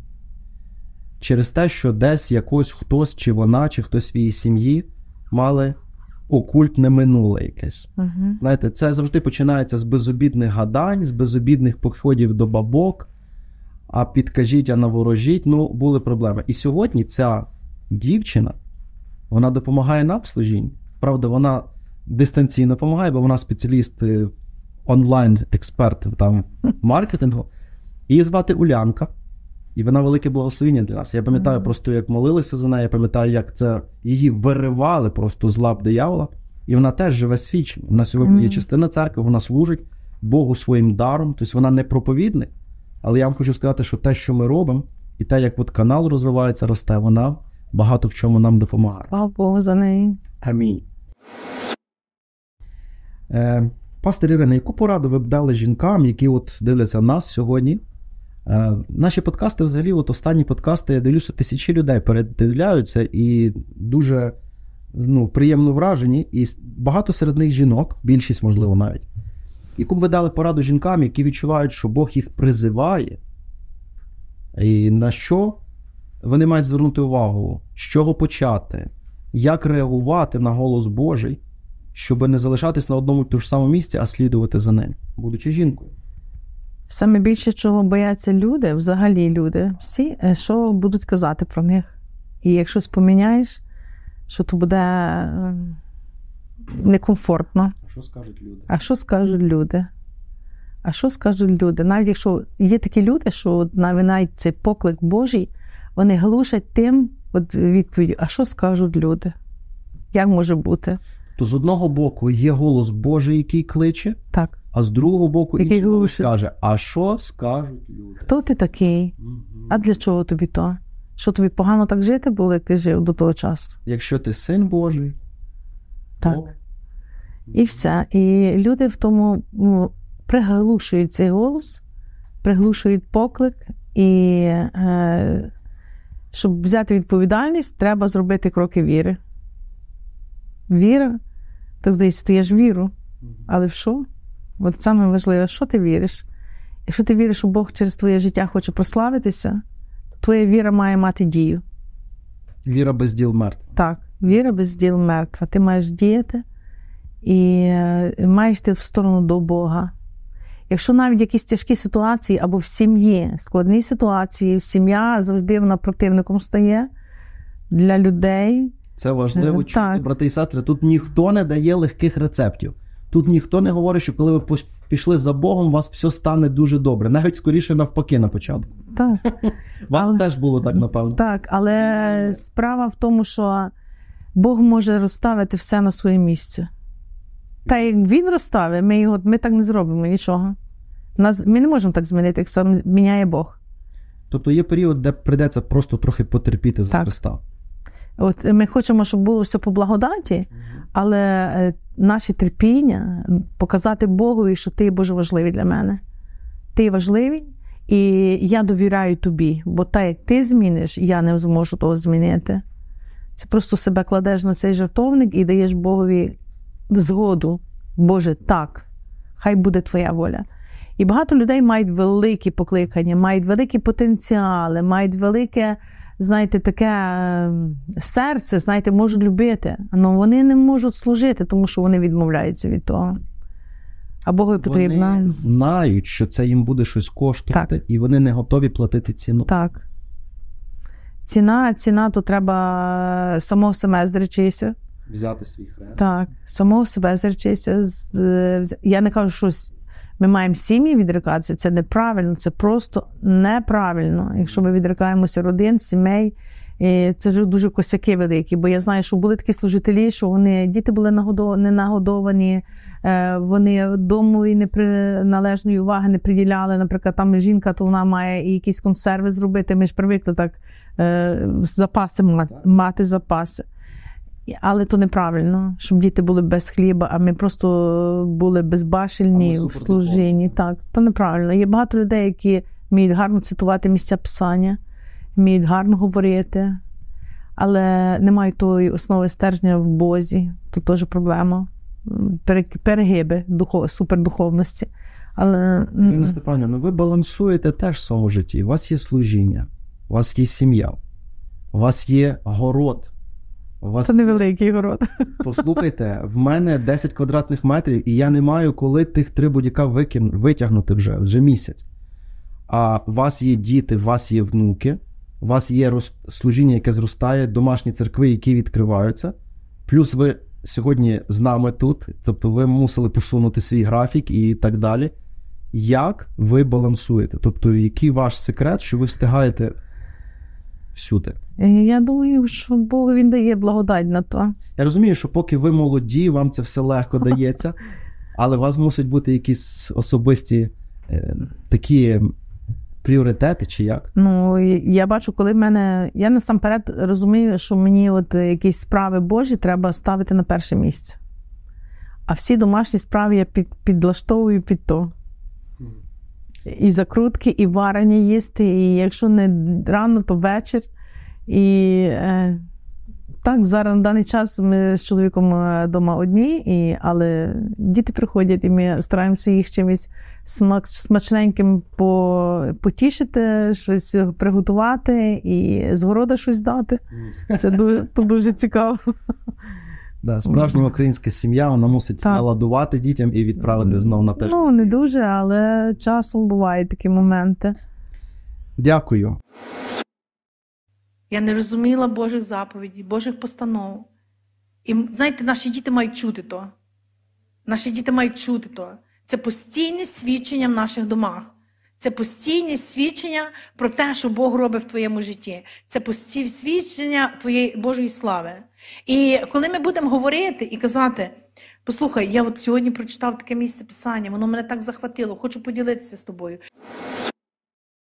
Пастор Ірина, якщо би ви знали, що вас зараз би почула вся людська раса, всі 8 мільярдів людей дивляться нашу сьогоднішню розмову, що би ви їм сказали, от користуючись нагодою? Яке би слово ви їм залишили? Е, Я думаю, що саме важливіше, то щоб люди насамперед шукали і відкривалися для Бога. Бо завжди Ісус Він стоїть при дверях серця кожної людини і Він стукає. І Він каже: довірся мені, довір своє життя, свою долю, свій розум, своє серце, довірся мені.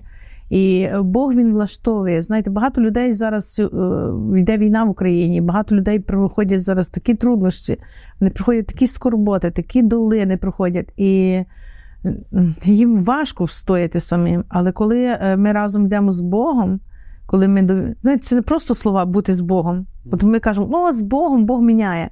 Це насправді бути з Богом. Це насправді бути з Богом, чути його руку в своєму житті, навіть якщо самі тяжчі моменти ми проходимо, самі тяжчі долини, самі тяжчі низини. І опираємося на Бога, в Бога нема тупіків. Він той, хто порятує, він той, хто дає життя, він той, хто направить. Він не той, хто забирає, а той, хто дає. Аль-Шадай, він той, хто дає. Він той, хто благословляє кожну людину. Я просто кожного хочу закликати, щоб просто кожен знайшов своє місце в Бозі, щоб Бо- дозволив Богові жити в його серці. Тому що Біблія каже, що е, люди чисті серцем Бога побачать. А коли вони чисті серцем? Коли вони запрошують Бога, щоб Бог навів порядок. Пам'ятаєш ту історію в храмі, як Ісус взяв бича і почав розганяти тих всіх міняйників, які міняють життя. Ми міняємо життя своє. Трошки проти шерсті. Так.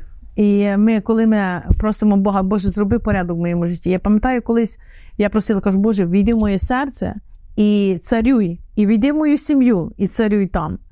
Тому що прийдеться щось е, викидати, прийдеться щось міняти. І е, Бог зацікавлений в нас. Він не хоче, щоб ні одна людина загинула, жодна людина. Він віддав свого сина однородного, щоб ніхто не загинув, а всі мали життя вічне. І всі дійшли до кінця. Амінь. Амінь. Дякую вам за такі слова. Е, В нас є е, завжди на завершення короткий бліц. Це коротке питання, коротка відповідь. Ви можете відповідати коротко, можете ширше, але, е, як правило, ми пробуємо через бліц е, дізнатися щось нове, цікаве і витягнути те, що людина ще з нами не поділилася. А, Отже, перше, скільком людям одночасно може послужити один пастир або один служитель? Якісно. Ну, в теперішній час, як є телефон, то можна в день багатьом послужити, Мгм. навіть через телефон. Окей. Якщо ти передзвонюєш людині і кажеш, я бачив, що там в тебе якась ситуація, не така розказуй, давай. Е, Або піти відвідати, або в церкві послужити під час молитви. Ну, я думаю, чоловік 15 десь. Окей. Ісуса було 12, але якщо є мобільний телефон, то можна. Так, може 15. Е, найважливіша функція пастора, на вашу думку. Найважливіша ну, ну, праця, чи як це сказати? Ну, функція, напевно. Мгм. В чому його функція найважливіша? Дехто думає, та просто гарно проповідувати. Ну, я думаю, що це повпливати на життя людей, щоб їхнє життя помінялося. Мати, знаєте, каже, бути е, цим світлом, показати людині, що є щось більше. Багато людей просто навіть ходять в церкву, вони можуть заплутуватися в якихось таких ситуаціях своїх, от мати силу впливу на людину, але Божого впливу, не земного такого світського впливу. Фактично, це наставництво, як Так. стати наставником. Так, стати наставником. Дякую. Яка ваша улюблена книга в Біблії? Багато історій дуже люблю. Люблю про Естер, Естфір, Естер, і люблю про Мойсея. Про Давида люблю, тому що Бог мене колись вчив за Давида, і я себе відкидала завжди, і Бог мені показував, каже, треба, щоб люди були мудрі, вчені, дивилися на Мойсея. Він проходив навчання в Єгипті. Він виростав в сім'ї фараона, начитаний, мудрий, грамотний і так далі. А подивилася історію Давида. І мені Бог показав, подивись, яка різниця. Він був біля отари, Пахнув вівцями. пахнув вівцями. Він був ніхто, його навіть рідні не дуже приймали, тому що батько він відкинутий, бо навіть в псалмі написано, що мама і батько не дуже до нього мали таку приязнь, а його брати старші були такі представительні люди. А він був пастух звичайний, і з якого пастуха Бог підняв, зробив його царем, помазаником Божим. І люблю про, Давида читати. Особливо, коли він любив Бога і писав за Бога, коли він танцював перед Богом, коли він був е, смирявся, сокрушався перед Богом. Дуже цікава історія. А Давид цікавий тим, що він, і будучи бідним, любив Бога, і був багато любив Бога, і був без влади, любив Бога, і маючи владу, любив Бога. В дії апостол написано, що Давид був по серці Бога. Хоч він багато теж накосячив, багато зробив, багато таких помилок наробив в своєму житті. Дякую. Яку би ви дали пораду матерям, в яких ще діти не спасені? От ви цей шлях пройшли, ви привели ваших дітей до Ісуса, вони сьогодні знають Бога. А є матері, які мають цю проблему. В них скорбота за їхніх дітей, які ще в світі, чи, не дай Бог, в залежності. Що би ви їм порадили, щоб стояти вірі і дочекатися Божого чуда в своїй сім'ї? Я хочу одне таке сказати, що спочатку треба матерям прийти до Бога. Я, це моя думка. Тому що коли ти е, приходиш до. Ми починаємо спасати дітей своїх самі, якщо ми не знаємо Бога і не знаємо Його голосу, не знаємо Його слова. Але коли ми приходимо до Бога, то Бог нам допомагає дітей спасати. Наш. Він, нам, він починає через нас. Він починає так. Богові важливо, щоб хтось був один в їхньому роду, в їхній сім'ї, який би міг стояти в проломі за свою родину, за своїх дітей, за свою сім'ю. І є написано в місці писання, каже Бог, е, чи я знайду людину, яка буде стояти в проломі. Навіть не то тільки за своїх дітей, а за націю, за народ. І за свою сім'ю саме важливіше, щоб мами пізнали, хто такий Ісус, хто Він є для них, щоб вони мали розуміння. Е, Всі ці істини, по яких Бог хоче слідувати в їхньому житті, щоб привести їхніх дітей, нам треба знати їх.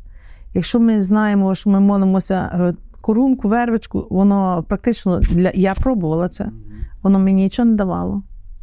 Таке як буксування на місці. Ну, коли ти відчуєш від Бога, ти маєш цю істину, і істина робить тебе вільним. Ця істина вона робить тебе вільним, це Слово Боже робить тебе вільним.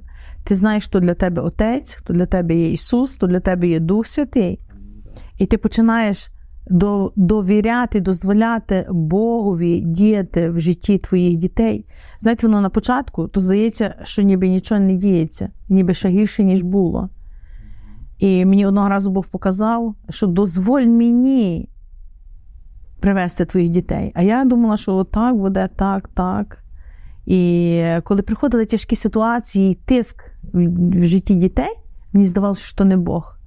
Що стає як, як ніби гірше. Стає ніби гірше. І я думала, от то диявол, напевно. Але я розумію тепер на даний час пройшло часу, що Бог дозволяє такі моменти в нашому житті і в житті наших дітей, що вони побачили, де вони є, і щоб вони з тої ситуації, з тої обстановки вийшли і піднялися. І це дуже класно, якщо діти. Допускає ситуації, коли наші діти самі піднімають очі А це, це вони самі допускають, щоб їх тиснуло, тому що вони не хочуть йти за Богом. І в мене така була колись приказка, я кажу, давайте ліпше йти своїми ногами за Богом, ніж повсти на колінах і мати проблеми великі. Це дуже цікаво, щоб е, люди так кажеш, підняли свої очі діти до Бога. Я дала то процес. То не буває за один день, не буває. Але Бог мені показав, віра наша важлива в тому. На одному з американських університетів на вході написано такий лозунг, що за вами завжди йшли молитви вашої матері. Тобто всі матері, які нас сьогодні чують, ваша молитва впливає Ніколи не зупиняйте цю молитву. Бог знає, які ключі підібрати до сердець ваших дітей, щоб вони були з Богом. Е, Про що мріє пастор Ірина?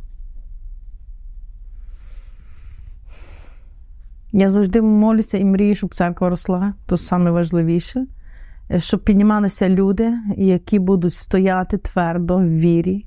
Віра це дуже важливо для віруючих людей. І е, щоб в церкву прийшли ті ключові люди, які зможуть багато більше зробити, ніж я. Амінь. Амінь.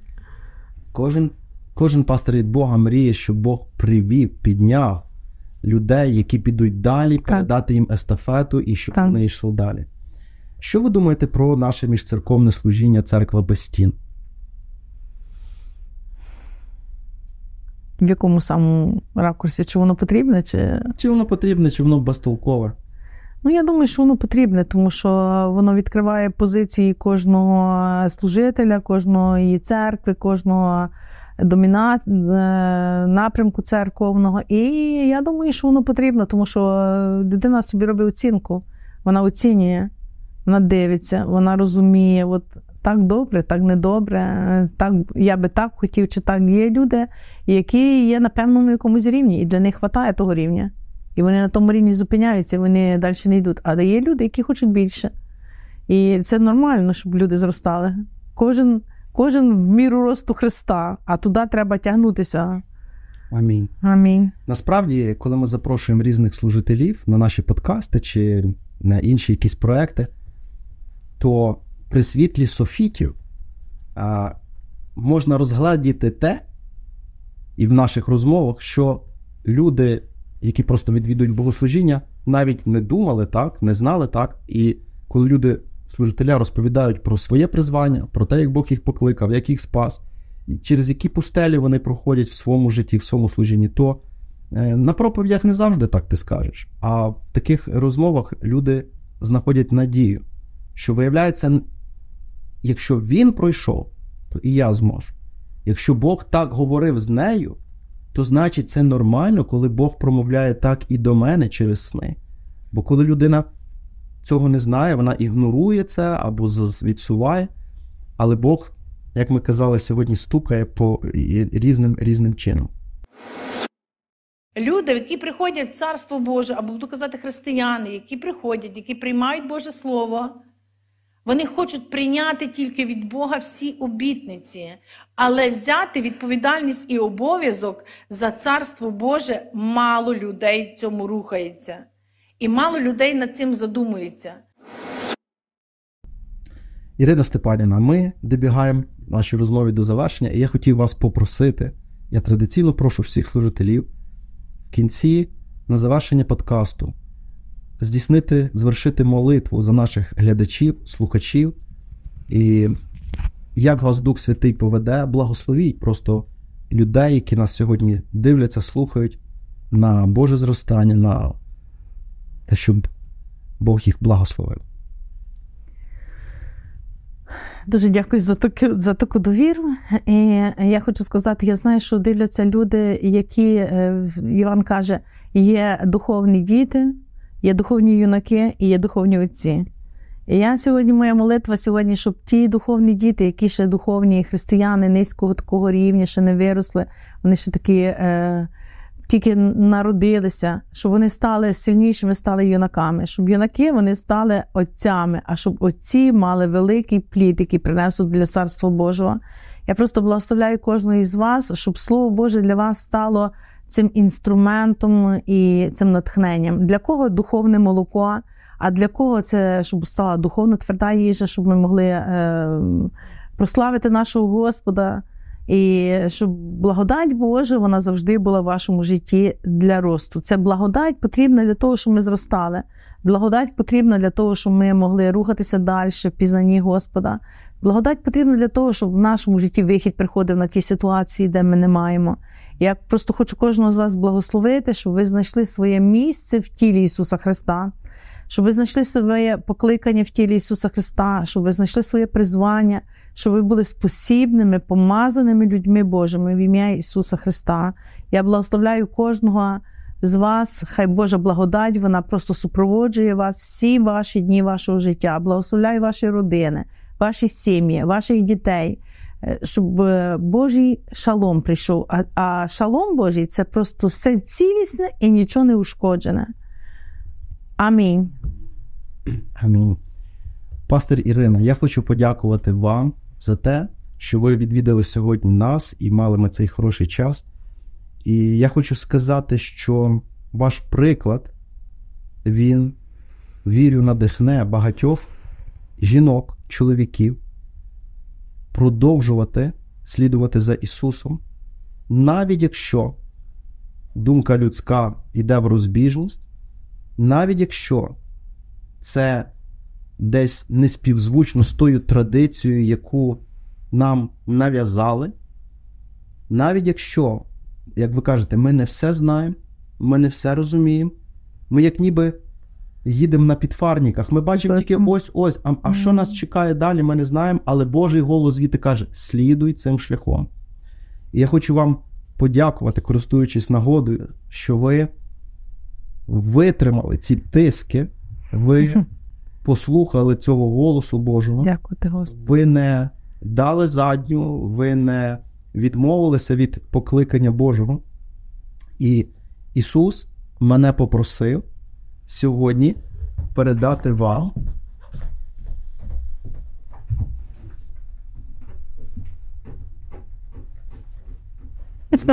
Пошани до вас і подяки за вашу духовну працю. Ось такий скромний букет. Дякую, дякую. Цей букет робили святі руки.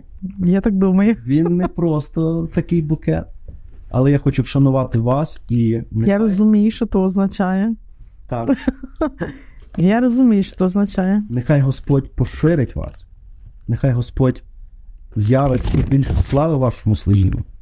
І нехай Бог підніме вам помічників, і чоловіків, і жінок, які будуть достойним продовженням тої великої роботи, яку Бог зробив через вас під Волочиську, в Волочиську, Оріхівцях і всіх інших околицях, куди Бог вас призвав служити. Дякую. Дякую вам. Дякую. Хай Бог благословляє. І всіх телеглядачів, хто буде дивитися. В ім'я Ісуса Христа. Амінь. Амінь. Друзі, якщо вам сподобалася наша сьогоднішня розмова, поставте нам лайк, поширте це в ваших соціальних мережах. Я вірю, що ваші друзі, ваші родини вони зможуть багато для себе отримати через ці слова, які сьогодні тут прозвучали. І також підписуйтесь на наш канал, вас чекають нові подкасти, нові програми, нові послання, які ми готуємо щодня всією командою для вас. Нехай Бог благословить вас, ваші сім'ї, в ім'я Ісуса Христа. Амінь. Амінь. Божим.